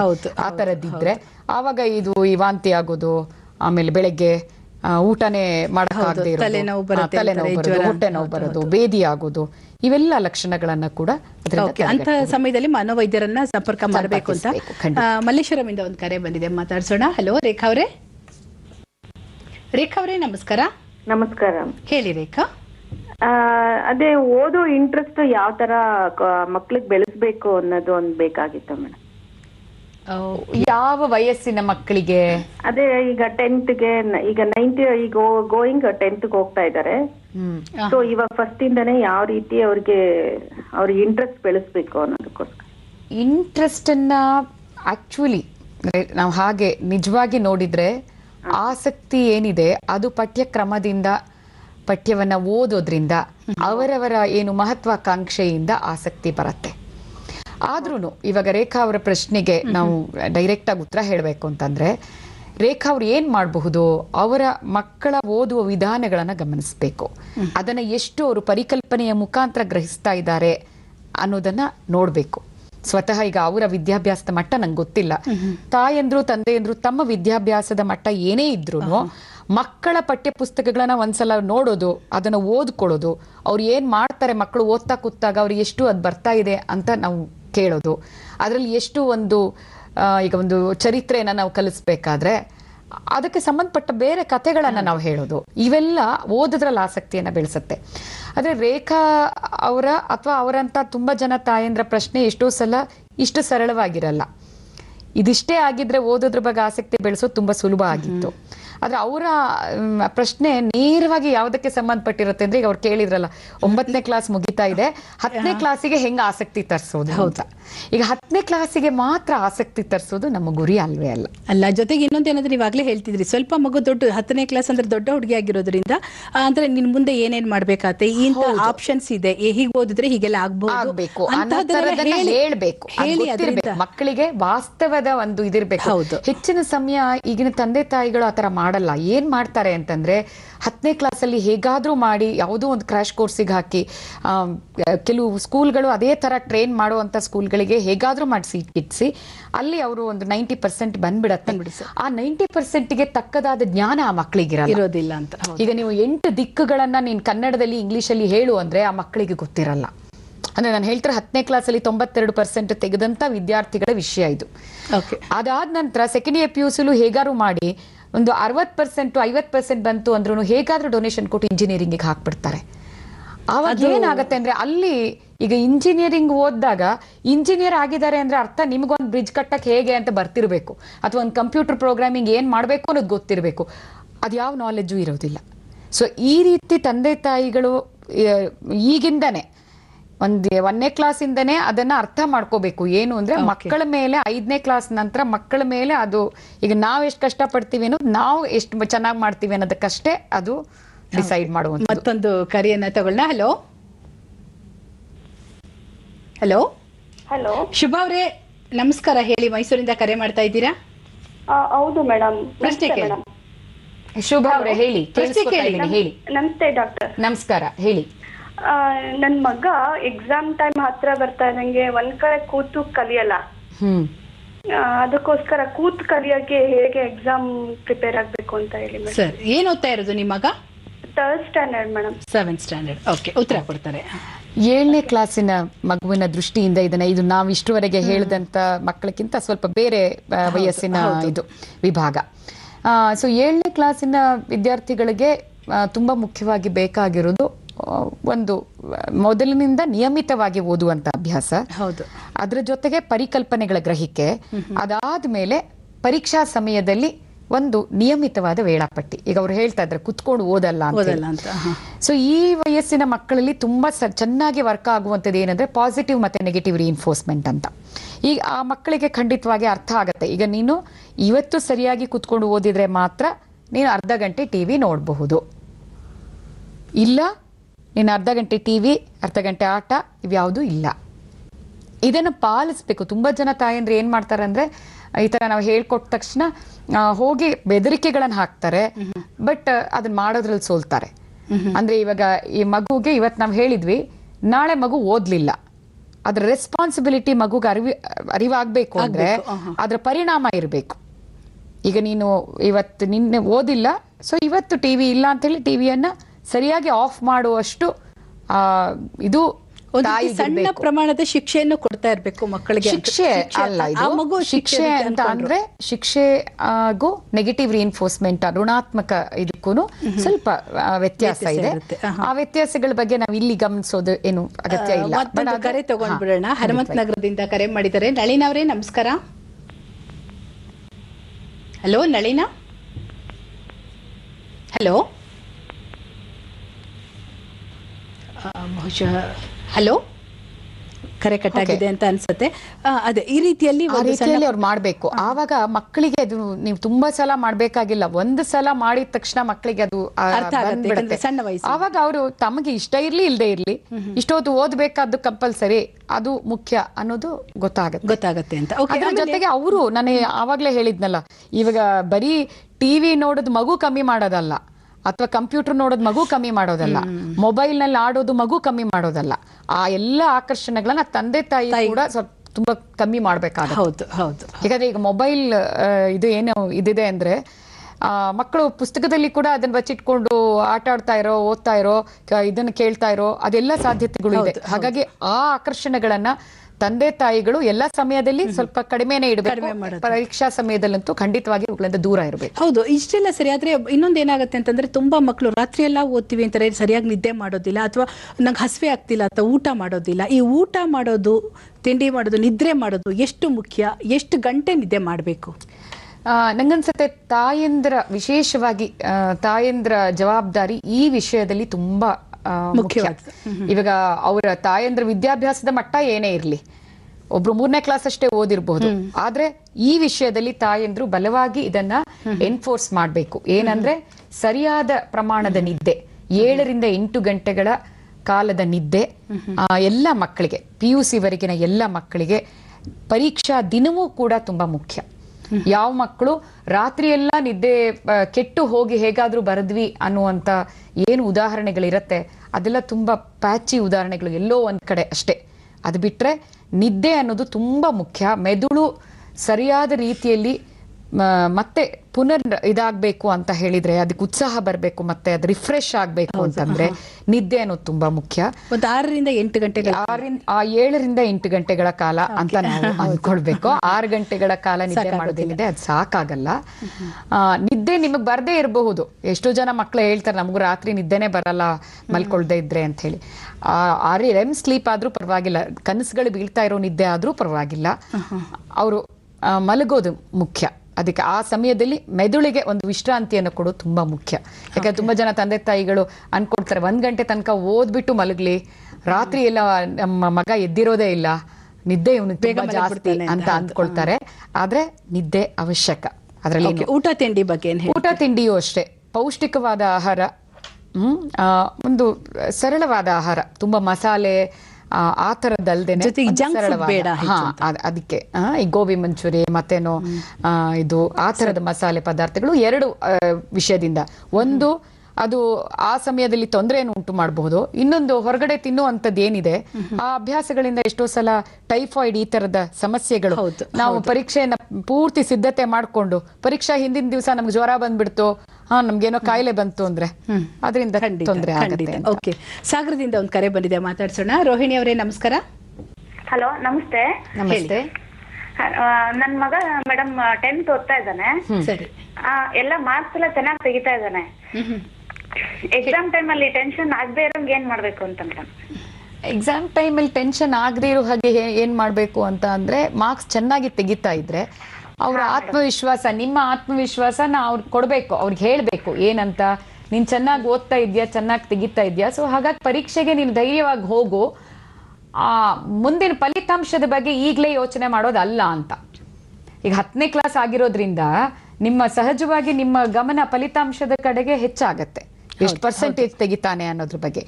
ಈ ಹಂತದಲ್ಲಿ ಅದ್ರ ಬಗ್ಗೆ ಯೋಚನೆ ಮಾಡಬಾರ್ದು. ಈಗ ನಮ್ಮ ಗುರಿ ಏನಾಗಬೇಕು? ಪರೀಕ್ಷೆಯಲ್ಲಿ ನಾನು ಆದಷ್ಟು ಉತ್ತಮವಾಗಿ ನಾನು ಮಾಡ್ತೀನಿ ಅನ್ನುವಂಥ ಧೈರ್ಯದಿಂದ ಆತ್ಮವಿಶ್ವಾಸದಿಂದ ಹೋಗಬೇಕು. ಅವ್ರ ಮಗ ಚೆನ್ನಾಗಿ ಓದಿದಾನೆ ಅಂತ ಅಂದ್ರೆ ಧೈರ್ಯ ಆತ್ಮವಿಶ್ವಾಸಗಳು ಈ ಸಮಯದಲ್ಲಿ ಒಂದು ಟಾನಿಕ್ ತರ ಕೆಲಸ ಮಾಡುತ್ತೆ. ಈಗ ಪರೀಕ್ಷೆಯಲ್ಲಿ ಒಂದು ಎರಡು ತರಹ ಇರುತ್ತೆ. ಕೆಲವು ಕಂಟಿನ್ಯೂಸ್ ಆಗಿ ಸರಣಿಯಾಗಿ ಅಂತ ಏನು ಹೇಳ್ತೀವಿ? ಕಂಟಿನ್ಯೂಸ್ ಆಗಿ ಐದು ದಿನದಲ್ಲಿ ಐದು ಎಕ್ಸಾಮ್ ಅಥವಾ ಆರು ಎಕ್ಸಾಮ್ ಮುಗ್ದು ಹೋಗ್ಬಿಡುತ್ತೆ.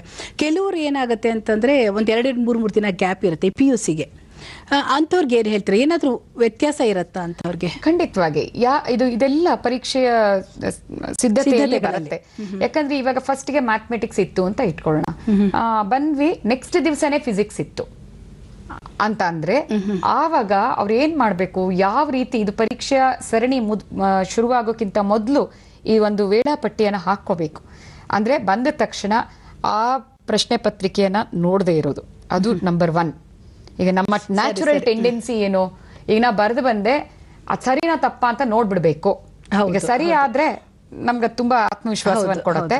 ತಪ್ಪಾದ್ರೆ ಡೌನ್ ಆಗ್ತೀವಿ ಹೌದು. ಹಾಗಾಗಿ ಅದ್ರ ಬಗ್ಗೆ ತಲೆ ಕೆಡಿಸ್ಕೊಳ್ಬೇಡಿ. ಒಂದ್ಸಲ ಅದ್ ಪರೀಕ್ಷೆ ಮುಗೀತು ಅದು ಮುಗ್ದು ಹೋಯ್ತು. ಅಷ್ಟೇ. ಸೊ ಇವಾಗ ಅದ್ರ ಪ್ರಶ್ನೆ ಸರಿ ಇತ್ತಾ ಉತ್ತರ ಸರಿ ಇತ್ತಾ ಅದೆಲ್ಲ ಆಮೇಲೆ ಮಾಡೋದಕ್ಕೆ ಸಾಕಷ್ಟು ಸಮಯ ಇದೆ. ಆ ಆತಂಕದಲ್ಲಿ ಅದನ್ನ ಮಾಡೋದು ಬೇಡ. ಮುಂದಿನ ಪರೀಕ್ಷೆಯ ಬಗ್ಗೆ ನಾವು ಸಿದ್ಧತೆಗೆ ತೊಡಗಬೇಕಾದ್ರೆ ನಾಳೆ ಇನ್ನೊಂದು ಪರೀಕ್ಷೆ ಇದೆ ತೊಡಗಬೇಕಾದ್ರೆ ಬಂದ ತಕ್ಷಣ ಕೈಕಾಲ್ ಮುಖ ತೊಳ್ಕೊಂಡು ಊಟ ಮಾಡಿ ಒಂದು ಗಂಟೆ ವಿಶ್ರಾಂತಿ ತಗೊಳ್ಬೇಕು ನಿದ್ದೆ ಮಾಡ್ಬೇಕು ಅಂತ ಇಲ್ಲ. ವಿಶ್ರಾಂತಿಗೂ ನಿದ್ದೆಗೂ ವ್ಯತ್ಯಾಸ ಇದೆ. ಹೌದು. ವಿಶ್ರಾಂತಿ ಮಾಡ್ಬೇಕು. ಅದಾದ್ಮೇಲೆ ಓದೋದಕ್ಕೆ ಶುರು ಮಾಡ್ಬೋದು. ಆವತ್ತಿನ ಓದು ಏನಿದೆ ಅದು ತುಂಬಾ ಗಂಭೀರವಾದ ತುಂಬಾ ಕಷ್ಟಪಟ್ಟು ಓದುವಂಥದ್ದಲ್ಲ. ತಿರುವು ಹಾಕೋದು. ಅಷ್ಟೇ ಎಸ್ ಎಲ್ ಸಿ ಮತ್ತೆ ಸೆಕೆಂಡ್ ಇಯರ್ ಪಿ ಯು ಸಿಯ ಸಿಲೆಬಸ್ ಯಾವ ತರ ಇದೆ ಅಂದ್ರೆ ಈಗ ಸದ್ಯದಲ್ಲಿ ವರ್ಷ ಪೂರ್ತಿ ಪಾಠನ ಹಲವಾರು ಸಲ ಕೇಳದಂತ ವಿದ್ಯಾರ್ಥಿಗೆ ಅದನ್ನ ತಿರುವು ಹಾಕೋದಷ್ಟೇ ಅದು ಪಿಕ್ಚರ್ ಮೆಮರಿ ಆಗ್ಬಿಡ್ಬೇಕು. ಅಂದ್ರೆ ಈಗ ನಾವು ಎಷ್ಟು ಸಲ ಅದನ್ನ ನೋಡಿರ್ಬೇಕು ಅಂದ್ರೆ ನಮ್ಗೆ ಆ ಪ್ರಶ್ನೆ ಬಂದ ತಕ್ಷಣ ಈ ಮೇಲ್ಗಡೆ ಇಲ್ಲಿತ್ತು ಇದು ಇಲ್ಲಿತ್ತು ಅದನ್ನ ಹಿಂಗೆ ಬರ್ದೆ ಹಿಂಗೆ ಬರ್ದೆ ಅನ್ನುವಷ್ಟು ನಮ್ಗದು ಮನನವಾಗಿರ್ಬೇಕು. ಸೊ ಆ ಲಾಸ್ಟ್ ಮೊಮೆಂಟಿಗೆ ನಮ್ಗೆ ಅದನ್ನ ತಿರುವು ಹಾಕೋದು.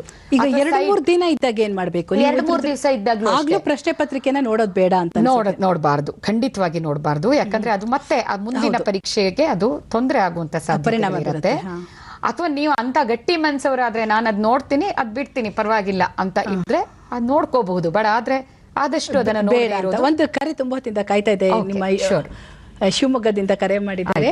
ಆ, ಯಮುನಾ ಅವರೇ ನಮಸ್ಕಾರ. ನಮಸ್ಕಾರ. ಹೇಳಿ ಮೇಡಮ್ ನಮಸ್ಕಾರ. ನಮಸ್ಕಾರ ಜಮುನಾ ಅವರೇ ಹೇಳಿ. ಸರ್ ಮೇಡಮ್ ನಮ್ಮ ಮಗಳು ಫಸ್ಟ್ ಪಿ ಯು ಸಿ ಓದ್ತಾ ಇದ್ದಾಳೆ. ಸರಿ.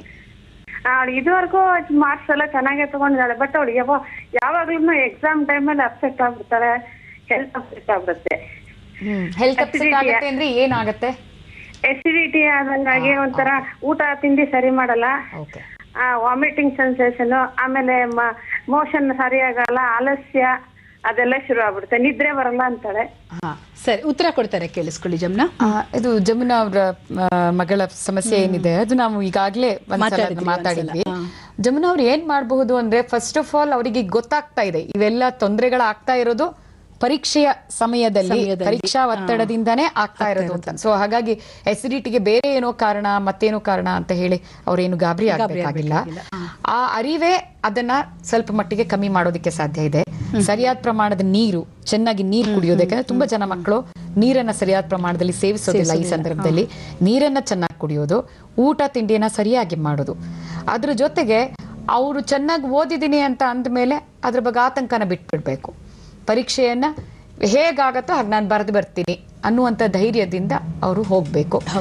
ಅಕಸ್ಮಾತ್ ಇದು ಯಾವುದು ಸಾಧ್ಯ ಆಗ್ತಿಲ್ಲ ಅಂತಂದ್ರೆ ಅವರು ಮನೋವೈದ್ಯರನ್ನ ತುಂಬಾ ಇದು ಹೆಚ್ಚಾದಾಗ ಮನೋವೈದ್ಯರನ್ನ ಸಂಪರ್ಕ ಮಾಡಬೇಕು ಅಂತ ಮತ್ತೊಂದು ಕರೆ ತಗೊಳ್ಳೋಣ. ಆ ಪುಷ್ಪ ಅವರೇ ನಮಸ್ಕಾರ. ಹಲೋ ಪುಷ್ಪ? ಹಲೋ ಹೇಳಿ. ಹೇಳಿ ಹಾಸನಿಂದ ಕರೆ ಮಾಡಿದ್ದೀರಾ? ಪ್ರಶ್ನೆ ಏನ್ ಕೇಳಿ? ನನ್ ಮಗ ಮೇಡಮ್ ಟಿವಿ ನೋಡ್ಕೊಂಡೆ ಓದ್ಕೊಂಡ್ ಕುತ್ಕೊತಾನೆ ಯಾವಾಗ್ಲೂ ಎಷ್ಟ್ ಹೇಳಿದ್ರು ಕೇಳಲ್ಲ ಏನ್ ಮಾಡೋದು? ಏನ್ ಓದ್ತಾ ಇದ್ದಾನೆ ಇವಾಗ? ಎಸ್ ಎಸ್ ಎಲ್ ಸಿನಾ S S L C TV ಮುಂದೆನೆ ಕುತ್ಕೊಳ್ತಾನೆ. ನೀವು ಟಿವಿ ಹಾಕ್ಬೇಡಿ ಫಸ್ಟ್. ಆಫ್ ಮಾಡಿ ಆಯ್ತು ಹಾಕೊಂಡೆ ಕುತ್ಕೋತಾರೆ ಅಲ್ಲ ಅಲ್ಲ. ಏನಂದ್ರೆ ಇದು ಬರೀ ಹತ್ತನೇ ಕ್ಲಾಸಿಗೆ ಮಾತ್ರ ಅಲ್ಲ. ಈ ಅಭ್ಯಾಸ ನಿಮ್ ಮಗನಿಗೆ ಮುಂಚೆಯಿಂದ ಇದ್ದಿರ್ಬೇಕು. ಹೌದೌದು ಆದ್ರೆ. ಖಂಡಿತವಾಗಿ ಒಳ್ಳೆ ಅಭ್ಯಾಸ ಅಲ್ಲ. ಮಕ್ಕಳು ಹಾಡ್ ಕೇಳ್ಕೊಂಡು ಓದೋದು ಅಥವಾ ಟಿವಿ ಹಾಕೊಂಡು ಓದೋದು ಹಾ ಇದೆಲ್ಲ ಒಳ್ಳೆ ಅಭ್ಯಾಸಗಳಲ್ವೇ ಅಲ್ಲ. ಯಾಕಂದ್ರೆ ನಮ್ಮ ಮೆದುಳು ಏನಿದೆ ಅದು ಒಂದು ಸಲಕ್ಕೆ ಒಂದು ವಿಷಯದ ಬಗ್ಗೆ ಮಾತ್ರ ಕೇಂದ್ರೀಕರಿಸೋದಕ್ಕೆ ಸಾಧ್ಯ. ಸೊ ಹಾಗಾಗಿ ಹಲವಾರು ಆಕರ್ಷಣೆಗಳಿದ್ರೆ ಖಂಡಿತವಾಗಿ ಆತನ ಓದು ಇದರಿಂದ ತೊಂದರೆ ಆಗೇ ಆಗತ್ತೆ. ನೀವು ಈಗ ಸದ್ಯಕ್ಕೆ ನನ್ ಕೇಳಿದ್ರೆ ನೀವು ಇನ್ ಒಂದು ತಿಂಗಳು ಇರಬೇಕಾದ್ರೆ ನೀವು ಟಿವಿಯನ್ನ ದೂರ ಇಡೋದು ತುಂಬಾ ಅಗತ್ಯವಾದ್ದು. ತಂದೆ ತಾಯಿಗಳು ಸ್ವಲ್ಪ ಮಟ್ಟಿಗೆ ಟಿವಿಯನ್ನ ಬಿಟ್ಟರೆ ಮಕ್ಕಳು ಓದ್ಬೇಕಾದ್ರೆ ತಾವು ಬೇರೆ ಏನೋ ಒಂದನ್ನು ಮಾಡ್ತಾ ಕುತ್ಕೊಂಡ್ರೆ ಹಾ ಅದರಿಂದ ಅವರ ಆರೋಗ್ಯಕ್ಕೂ ಅವರ ಬೇರೆ ಬೆಳವಣಿಗೆಗೂ ಕೂಡ ಖಂಡಿತ. ಹಾಗಾಗಿ ಅವನಿಗೆ ಆ ಆಕರ್ಷಣೆಯನ್ನು ತಡೆಯೋದಕ್ಕೆ ಆಗಲ್ಲ ಅಂತ ಅಂದ್ರೆ ಅವಾಗ ಅವ್ರ ಈ ಇದನ್ನ ಮಾಡ್ಬೇಕು. ಮತ್ತೆ ಈಗಾಗಲೇ ನಾನು ಹೇಳಿದ್ನಲ್ಲ ನೀನ್ ಇಷ್ಟೊತ್ತು ಓದ್ರೆ ಮಾತ್ರ ನೀನು ಅರ್ಧ ಗಂಟೆ ಟಿವಿ ಹಾಕಬಹುದು ಅಂತ. ತಂದೆ ತಾಯಿಗಳು ಕೆಲವು ಸಲ ಹೇಳ್ತಾರೆ ನಾವು ಅದೆಲ್ಲ ಹೇಳ್ತೀವಿ ಆದ್ರೆ ಕೇಳೋದೇ ಇಲ್ಲ ಏನ್ ಮಾಡೋದು ಅಂತ. ಆ ವಿಷಯದಲ್ಲಿ ತಂದೆ ತಾಯಿಗಳು ತಮ್ಮ ಶಿಸ್ತನ್ನ ಮಾಡುವಂತ ವಿಧಾನಗಳನ್ನ ಪರಿಶೀಲಿಸ್ಕೊಳ್ಬೇಕು. ಪರಿಶೀಲಿಸ್ಕೊಂಡು ಯಾಕಂದ್ರೆ ಇವಾಗ ಹದಿನಾರು ವರ್ಷದ ಮಗುವನ್ನ ಒಂದು ನಲ್ವತ್ತು ವರ್ಷನೋ ಮೂವತ್ತೈದು ವರ್ಷದೋ ತಂದೆ ತಾಯಿ ಕಂಟ್ರೋಲ್ ಮಾಡಕ್ಕಾಗಲ್ಲ ಅಂತಂದ್ರೆ ಅದು ಒಂದು ಹಾಸ್ಯಾಸ್ಪದವಾದ್ದು ಅಂತ ನಮ್ಗೆ ಅನ್ಸುತ್ತೆ ಓಕೆ ಈಗ ಪರೀಕ್ಷೆಯನ್ನು ಹೇಗೆ ಎದುರಿಸೋದು ಅಂತ ನಾವು ಮಾತಾಡುವಾಗ ಸರಣಿ ಪರೀಕ್ಷೆಗಳ ಬಗ್ಗೆ ತಾವು ಹೇಳ್ತಾ ಇದ್ರಿ. ಈಗ ಒಂದು ಎರಡು ಮೂರು ದಿನ ಗ್ಯಾಪ್ ಇದ್ದಾಗ ಏನು ಮಾಡಬೇಕು ಅಂತ ಕೇಳಿದೆ. ಒಂದು ಪರೀಕ್ಷೆ ಮುಗಿಸ್ಕೊಂಡು ಬರ್ತಾರೆ. ಇನ್ನೊಂದು ಮೂರು ದಿನಕ್ಕೆ ಇನ್ನೊಂದು ಪರೀಕ್ಷೆ ಇದೆ. ಹೇಗೆ ಸಿದ್ಧತೆ? ತುಂಬಾ ಸಲ ನಾವು ಏನನ್ನ ಅನ್ಕೋತೀವಿ ಅಂದ್ರೆ ಪರೀಕ್ಷೆ ಟೈಮ್ ಟೇಬಲ್ ಅನೌನ್ಸ್ ಆಗತ್ತಲ್ಲ. ಅವಾಗ ನೋಡಿದ ತಕ್ಷಣ ಮಕ್ಳು ಗಾಬರಿ ಆಗ್ತಾರೆ. ಇವು ಒಂದು ದಿವಸನೂ ಗ್ಯಾಪೇ ಇಲ್ಲ. ಇದಕ್ಕೆ ಮೂರು ದಿವಸ ಗ್ಯಾಪ್ ಇದೆ. ಇದಕ್ಕೆ ಬದಲು ಇದಕ್ಕೆ ಬಂದಿದ್ರೆ ನಮ್ಗೆ ತುಂಬಾ ಉಪಯೋಗ ಆಗ್ತಿತ್ತು ಅಂತ ಹೇಳಿ. ಬಟ್ ನೀವು ಆಕ್ಚುಯಲ್ ಅದನ್ನ ನೋಡಿದ್ರೆ ಪರ್ಫಾರ್ಮೆನ್ಸ್ ಅನ್ನು ನೋಡಿದ್ರೆ ಇಟ್ ಹಾರ್ಡ್ಲಿ ಮ್ಯಾಟರ್ಸ್ ಯಾವ ಒಂದ್ ದಿವಸ ಗ್ಯಾಪ್ ಇರ್ಲಿ ಮೂರ್ ದಿವಸ ಗ್ಯಾಪ್ ಇರ್ಲಿ ಅದೇನು ವ್ಯತ್ಯಾಸ ಆಗೋದಿಲ್ಲ. ಮೂರ್ ದಿವಸ ಗ್ಯಾಪ್ ಇದ್ದಾಗ ತುಂಬಾ ಜನ ಏನ್ ಮಾಡ್ತಾರೆ ಅಂತಂದ್ರೆ ಫಸ್ಟ್ ಮೊದಲನೇ ಅರ್ಧ ದಿವಸ ಪೂರ್ತಿ ಕಳೆದ್ ಬಿಡ್ತಾರೆ ಆರಾಮಾಗಿ. ಮತ್ತೊಂದು ದಿವಸದಲ್ಲಿ ಕ್ರಿಕೆಟ್ ಮ್ಯಾಚೋ ಮತ್ತೊಂದು ಏನೋ ಇದ್ರೆ ಅದನ್ನ ಫುಲ್ ಮುಗಿಸ್ತಾರೆ. ಆಮೇಲೆ ಇನ್ನು ಅರ್ಧ ದಿವಸ ಇದೆ ನಾಳೆ ಎಕ್ಸಾಮ್ಗೆ ಅನ್ಬೇಕಾದ್ರೆ ಓದಕ್ ಶುರು ಮಾಡ್ತಾರೆ. ಯಾರಿಗೆ ಚೆನ್ನಾಗಿ ಮಾರ್ಕ್ಸ್ ಅನ್ನ ತೆಗಿಬೇಕು ಅಂತ ಇದೆ ಅಂತ ವಿದ್ಯಾರ್ಥಿಗಳು ಹಾಗೆ ಮಾಡಬಾರ್ದು. ಇವಾಗ ನೀವು ಅರ್ಧ ದಿವಸ ಅಷ್ಟೇ ಇದೆ, ನಾಳೆ ಪರೀಕ್ಷೆ, ನಾಳೆನೇ ಮತ್ತೊಂದು ಪರೀಕ್ಷೆ ಇದೆ ಅನ್ಬೇಕಾದ್ರೆ ಯಾವ ಸೀರಿಯಸ್ನೆಸ್ ಇಂದ, ಯಾವ ಗಂಭೀರತೆಯಿಂದ ಓದ್ತಾರೋ, ಅದೇ ಗಂಭೀರತೆಯಿಂದ ಮೂರು ದಿವಸ ಇದ್ದಾಗ್ಲೂ ಆ ಹೆಚ್ಚು ಓದೋದನ್ನ ಹೆಚ್ಚು ವಿಷಯಗಳನ್ನ ಟಚ್ ಮಾಡೋದನ್ನ ಆ ಪ್ರಯತ್ನ ಮಾಡಬೇಕು. ಓಕೆ ಅಂದ್ರೆ ಈಗ ಬಹಳಷ್ಟು ವಿಷಯಗಳ ಬಗ್ಗೆ ನೀವು ಮಾತಾಡಿದ್ರೆ ಹೇಗೆ ಸಿದ್ಧತೆ ಮಾಡ್ಕೊಳ್ಬೇಕು ಒಂದು ತಿಂಗಳಲ್ಲಿ ಹೇಗೆ ಪರೀಕ್ಷೆ ಸಮಯದಲ್ಲಿ ಒಂದು ರೀತಿ ಬ್ಲ್ಯಾಂಕ್ ಆಗ್ಬಿಡ್ತಾರೆ ಕೆಲವರು. ಅವಾಗ ಏನ್ ಮಾಡಬೇಕು ಮನೋವೈದ್ಯರನ್ನ ಹೇಗೆ ಬಹಳಷ್ಟು ವಿಷಯಗಳು ತಿಳಿಸ್ಕೊಟ್ಟಿದ್ದಾರೆ. ಈಗ ನಾವು ಕೊನೆಯದಾಗಿ ಹೇಳ್ಬೇಕಂತಂದ್ರೆ ಈಗ ಅಕಸ್ಮಾತ್ ಫೇಲ್ ಆದ್ರು ಮಕ್ಕಳು ಅದಕ್ಕೆ ಅವರು ಒಂದು ರೀತಿಯಲ್ಲಿ ತಂದೆ ತಾಯಿಯರು ಸಿದ್ಧರಾಗಿರ್ಬೇಕಾ ಮಕ್ಕಳನ್ನ ಸಿದ್ಧ ಮಾಡಿರ್ಬೇಕಾ? ಏನ್ ಹೇಳ್ತೀರಾ? ತಂದೆ ತಾಯಿಗಳು ಅಕಸ್ಮಾತ್ ಫೇಲ್ ಆದರೆ ಅನ್ನೋದಕ್ಕೆ ಸಿದ್ಧ ಮಾಡ್ಕೊಳಕ್ ಸಾಧ್ಯ ಇಲ್ಲ. ಆದ್ರೆ ತಂದೆ ತಾಯಿಗಳಿಗೆ ತಮ್ಮ ಮಕ್ಕಳ ನಿಜ ಸಾಮರ್ಥ್ಯದ ಅರಿವಿರ್ಬೇಕು. ಅಂದ್ರೆ ಇವಾಗ ಮಕ್ಕಳು ಹೇಳ್ತಾರೆ ತುಂಬಾ ಸಲ ಈಗ ಮಕ್ಳಿಗೆ ಗೊತ್ತಿರುತ್ತೆ ತಂದೆ ತಾಯಿಗಳಿಗೆ ಯಾವ ತರ ಹೇಳಿದ್ರೆ ಅವ್ರಿಗೆ ತುಂಬಾ ಖುಷಿ ಆಗತ್ತೆ ಅಂತ ಹೇಳಿ. ಸೊ ಮಕ್ಕಳು ಹೇಳ್ತಾರೆ ನಿನಗೆ ನೂರಕ್ ನೂರ್ ತೆಗೆದು ತೋರ್ಸಿದ್ರೆ ಆಯ್ತಲ್ವಾ ನಾನು? ನೀನು ಯೋಚನೆ ಮಾಡಬೇಡ ಅಂತ ಹೇಳ್ತಾರೆ. ಅದು ಮಕ್ಕಳು ಹೇಳೋ ಅಂತದ್ದಷ್ಟೇ ಅವ್ರ ಮಕ್ ಮಗು ನಿಜವಾಗ್ಲೂ ನೂರಕ್ ನೂರು ತೆಗಿತಾನ ಇಲ್ವಾ ಅನ್ನೋದನ್ನ ನಾವು ಅವನ ಹಿಂದಿನ ಟ್ರ್ಯಾಕ್ ರೆಕಾರ್ಡ್ ಮೇಲೆ ನಾವು ಅದನ್ನ ಗಮನಿಸಬೇಕು. ಹಾಗಿದ್ದಾಗ ನಮಗೆ ಅವ್ರು ಪಾಸ್ ಆಗ್ಬೋದಾ ಫೇಲ್ ಆಗ್ಬೋದಾ ಫಸ್ಟ್ ಕ್ಲಾಸ್ ಬರ್ಬೋದಾ ಹಂಡ್ರೆಡಿಗೆ ಹಂಡ್ರೆಡ್ ತೆಗಿಬೋದಾ ಅಂತ ಹೇಳಿದ್ದಾಗೋದು. ಮಕ್ಕಳು ಏನನ್ನ ಗಮನಿಸಬೇಕು? ಎಷ್ಟೋ ಸಲ ಆತ್ಮಹತ್ಯೆಗಳು ಈ ಸಂದರ್ಭದಲ್ಲಿ ಆಗೋದು. ಈಗ ಎಸ್ ಎಲ್ ಸಿ ಆದ ತಕ್ಷಣ ರಿಸಲ್ಟ್ ಬಂದ ತಕ್ಷಣ ಪೇಪರ್ನಲ್ಲಿ ನೀವು ಸರಣಿ ಆತ್ಮಹತ್ಯೆಗಳ ಬಗ್ಗೆ ಓದ್ತೀರಿ. ತುಂಬಾ ಬೇಸರ ತರುವಂತದ್ದು ಏನನ್ನ ಗಮನಿಸಬೇಕು ಅಂದ್ರೆ ಮಕ್ಕಳು ಆ ತಕ್ಷಣಕ್ಕೆ ಆ ಪ್ರಯತ್ನವನ್ನ ಮಾಡಿರ್ತಾರೆ. ಎಷ್ಟೋ ಜನ ಅದ್ರಲ್ಲಿ ಜಯಶಾಲಿಗಳು ಆಗ್ಬಿಡ್ತಾರೆ ಆ ಪ್ರಯತ್ನದಲ್ಲಿ. ತುಂಬಾ ಬೇಸರದ ಸಂಗತಿ. ಆ ಆ ಮೊಮೆಂಟ್ ಆ ಕ್ಷಣದ ಒತ್ತಡವನ್ನ ಅವರು ಹೆದರಬಾರ್ದು. ಇವಾಗ ತಂದೆ ತಾಯಿಗಳ ಹತ್ರ ಬಂದ್ಬಿಟ್ಟು ನಾನು ಫೇಲ್ ಆಗಿದ್ದೀನಿ ಅಂತ ಹೇಳಿದ್ರೆ ತಂದೆ ತಾಯಿಗಳು ಬೈಯೋದು ಆ ಕ್ಷಣಕ್ಕೆ ಒಂದು ಸಹಜವಾದ ಪ್ರತಿಕ್ರಿಯೆ ಅಷ್ಟೇ. ಅದರ ಅರ್ಥ ಆ ಮಕ್ಕಳನ್ನ ಪ್ರೀತಿ ಮಾಡಲ್ಲ ಅಥವಾ ಫೇಲ್ ಆದ ಮಕ್ಕಳನ್ನ ನೀವು ಸತ್ತೋಗ್ಬಿಡು ಅಂತ ಹೇಳ್ತಾರೆ ಅನ್ನೋದು ನಿಜ ಅಲ್ಲ. ಸೊ ಯಾಕಂದ್ರೆ ಆ ತರದ ಮಕ್ಕಳು ಆ ತರದ ಪ್ರಯತ್ನವನ್ನ ಮಾಡಿ ಆಮೇಲೆ ಆ ಆತ್ಮಹತ್ಯೆಯನ್ನು ಮಾಡ್ಕೊಂಡಾಗ ತಂದೆ ತಾಯಿಗಳು ಇಡೀ ಜೀವನ ಪೂರ್ತಿ ಒಂದು ತಪ್ಪಿತಸ್ಥ ನರಳ್ತಾ ಇರಬೇಕಾಗತ್ತೆ. ಹಾಗಾಗಿ ತಂದೆ ತಾಯಿಗಳು ಅಷ್ಟೇ ಈ ಫಲಿತಾಂಶದ ಸಂದರ್ಭದಲ್ಲಿ ತುಂಬಾ ಸ್ಥೈರ್ಯವನ್ನ ಮನಸ್ಥೈರ್ಯವನ್ನ ಮಕ್ಕಳಿಗೆ ಕೊಡೋದು ತುಂಬಾ ಮುಖ್ಯ. ಯಾಕಂದ್ರೆ ಆ, ಈಗ ಯಾವುದೋ ಒಂದು ಪರೀಕ್ಷೆಯಲ್ಲಿ ಪ ನಪಾಸ್ ಆಗೋದಕ್ಕೆ ಸಾಧ್ಯ ಇದೆ. ಹಾಗಾಗಿ ಅದನ್ನ ತಾವು ಅದನ್ನ ಅಂತ ಸಂದರ್ಭ ಬಂದ್ರೆ ನಾವು ಈ ರೀತಿ ಎದುರಿಸ್ತೀವಿ ಅಂತ ಹೇಳ್ಬಿಟ್ಟು ಇದ್ ಮಾಡ್ಬೇಕು. ಮತ್ತೆ ಸರ್ಕಾರವೂ ಈಗ ತುಂಬಾ ಅದ್ರ ಬಗ್ಗೆ ಲಿಬರಲ್ ಆಗಿ ಇದ್ ಮಾಡಿದೆ. ಏನಂದ್ರೆ ಈಗ ಮೊದ್ಲೆಲ್ಲ ಎಸ್ ಎಲ್ ಸಿಲಿ ಫೇಲ್ ಆದ್ರೆ ಆರ್ ತಿಂಗಳಾದ್ಮೇಲೆ ಅವ್ರು ಮತ್ತೆ ಪರೀಕ್ಷೆ ತಗೋಬೇಕಾಗ್ತಿತ್ತು. ಒಂದು ತಿಂಗಳ ಆದ ತಕ್ಷಣ ಓದಿ ಅದನ್ನ ಪಾಸ್ ಮಾಡೋದಕ್ಕೆ ಸಾಧ್ಯ ಇದೆ. ಮತ್ತೆ ನಾವ್ ಯಾವಾಗ್ಲೂ ಹೇಳ್ತೀವಲ್ಲ ಜೀವನ ಪರೀಕ್ಷೆಯಲ್ಲಿ ನಾವು ಗೆಲ್ಬೇಕು. ಗೆಲ್ಬೇಕು ಅಂತ. ಗುರಿ ಅಲ್ಲ ಅದು ಅಂತ ನಾವು ತಗೊಳ್ಬೇಕು ಅಂತ. ಓಕೆ ಈಗ ಪರೀಕ್ಷೆ ಸುತ್ತಮುತ್ತ ನಾವಿದ್ದೇವೆ ಇನ್ನೇನು ಪರೀಕ್ಷೆ ಇನ್ನೊಂದು ತಿಂಗಳಿದೆ ಕೊನೆಯದಾಗಿ ನೀವೇನು ಹೇಳೋದಕ್ಕೆ ಇಷ್ಟಪಡ್ತೀರಾ? ಪರೀಕ್ಷೆ ಅನ್ನೋದು ಏನಿದೆ ಅದು ಒಂದು ಒಂದು ಹಂತ ಮಾತ್ರ. ಹಾಗಾಗಿ ಪರೀಕ್ಷೆಯ ಹಂತದಲ್ಲಿ ನಾವು ಅತ್ಯುತ್ತಮವಾಗಿ ಮಾಡಿ ನಾವು ಜಲ ಬಲಶಾಲಿಗಳು ಜಯಶಾಲಿಗಳಾಗ್ತೀವಿ ಅಂತ ಹೇಳ್ಬಿಟ್ಟು ನಾವು ಅಂದ್ಕೊಳ್ಬೇಕು. ಅಕಸ್ಮಾತ್ ಹಾಗಾಗ್ಲಿಲ್ಲ. ಮತ್ತೊಂದು ಪರೀಕ್ಷೆ ಖಂಡಿತವಾಗಿ ಇದ್ದೇ ಇದೆ. ಸೊ ಪರೀಕ್ಷೆಯ ಸುತ್ತಮುತ್ತ ತಾನೇ ಅದು. ಸೊ ಹಾಗಾಗಿ ಮತ್ತೊಂದು ಪರೀಕ್ಷೆ ಇದ್ದೇ ಇದೆ. ಅದಕ್ಕೆ ನಾವು ಮತ್ತೆ ತಯಾರು ಮಾಡೋದಕ್ಕೆ ಪ್ರಾರಂಭಿಸಬೇಕು. ಮತ್ತು ತಂದೆ ತಾಯಿಗಳು ತಮ್ಮ ಮನಸ್ಥೈರ್ಯವನ್ನ ಕಾದುಕೊಂಡು ಮಕ್ಕಳಿಗೆ ಮನಸ್ಥೈರ್ಯವನ್ನ ತುಂಬಬೇಕು ಅಂತ ಹೇಳ್ಬಿಟ್ಟು ನಂಗನ್ಸತ್ತೆ. ಹೌದು ಅಂದ್ರೆ ಪರೀಕ್ಷೆಯೇ ಅಂತಿಮವಾದ ಗುರಿ ಅಲ್ಲ. ಆದ್ರೆ ನೀವು ಹೇಳಿದಕ್ಕೆ ಜೀವನ ಪರೀಕ್ಷೆಯಲ್ಲಿ ನಾವು ಗೆಲ್ಲಬೇಕು.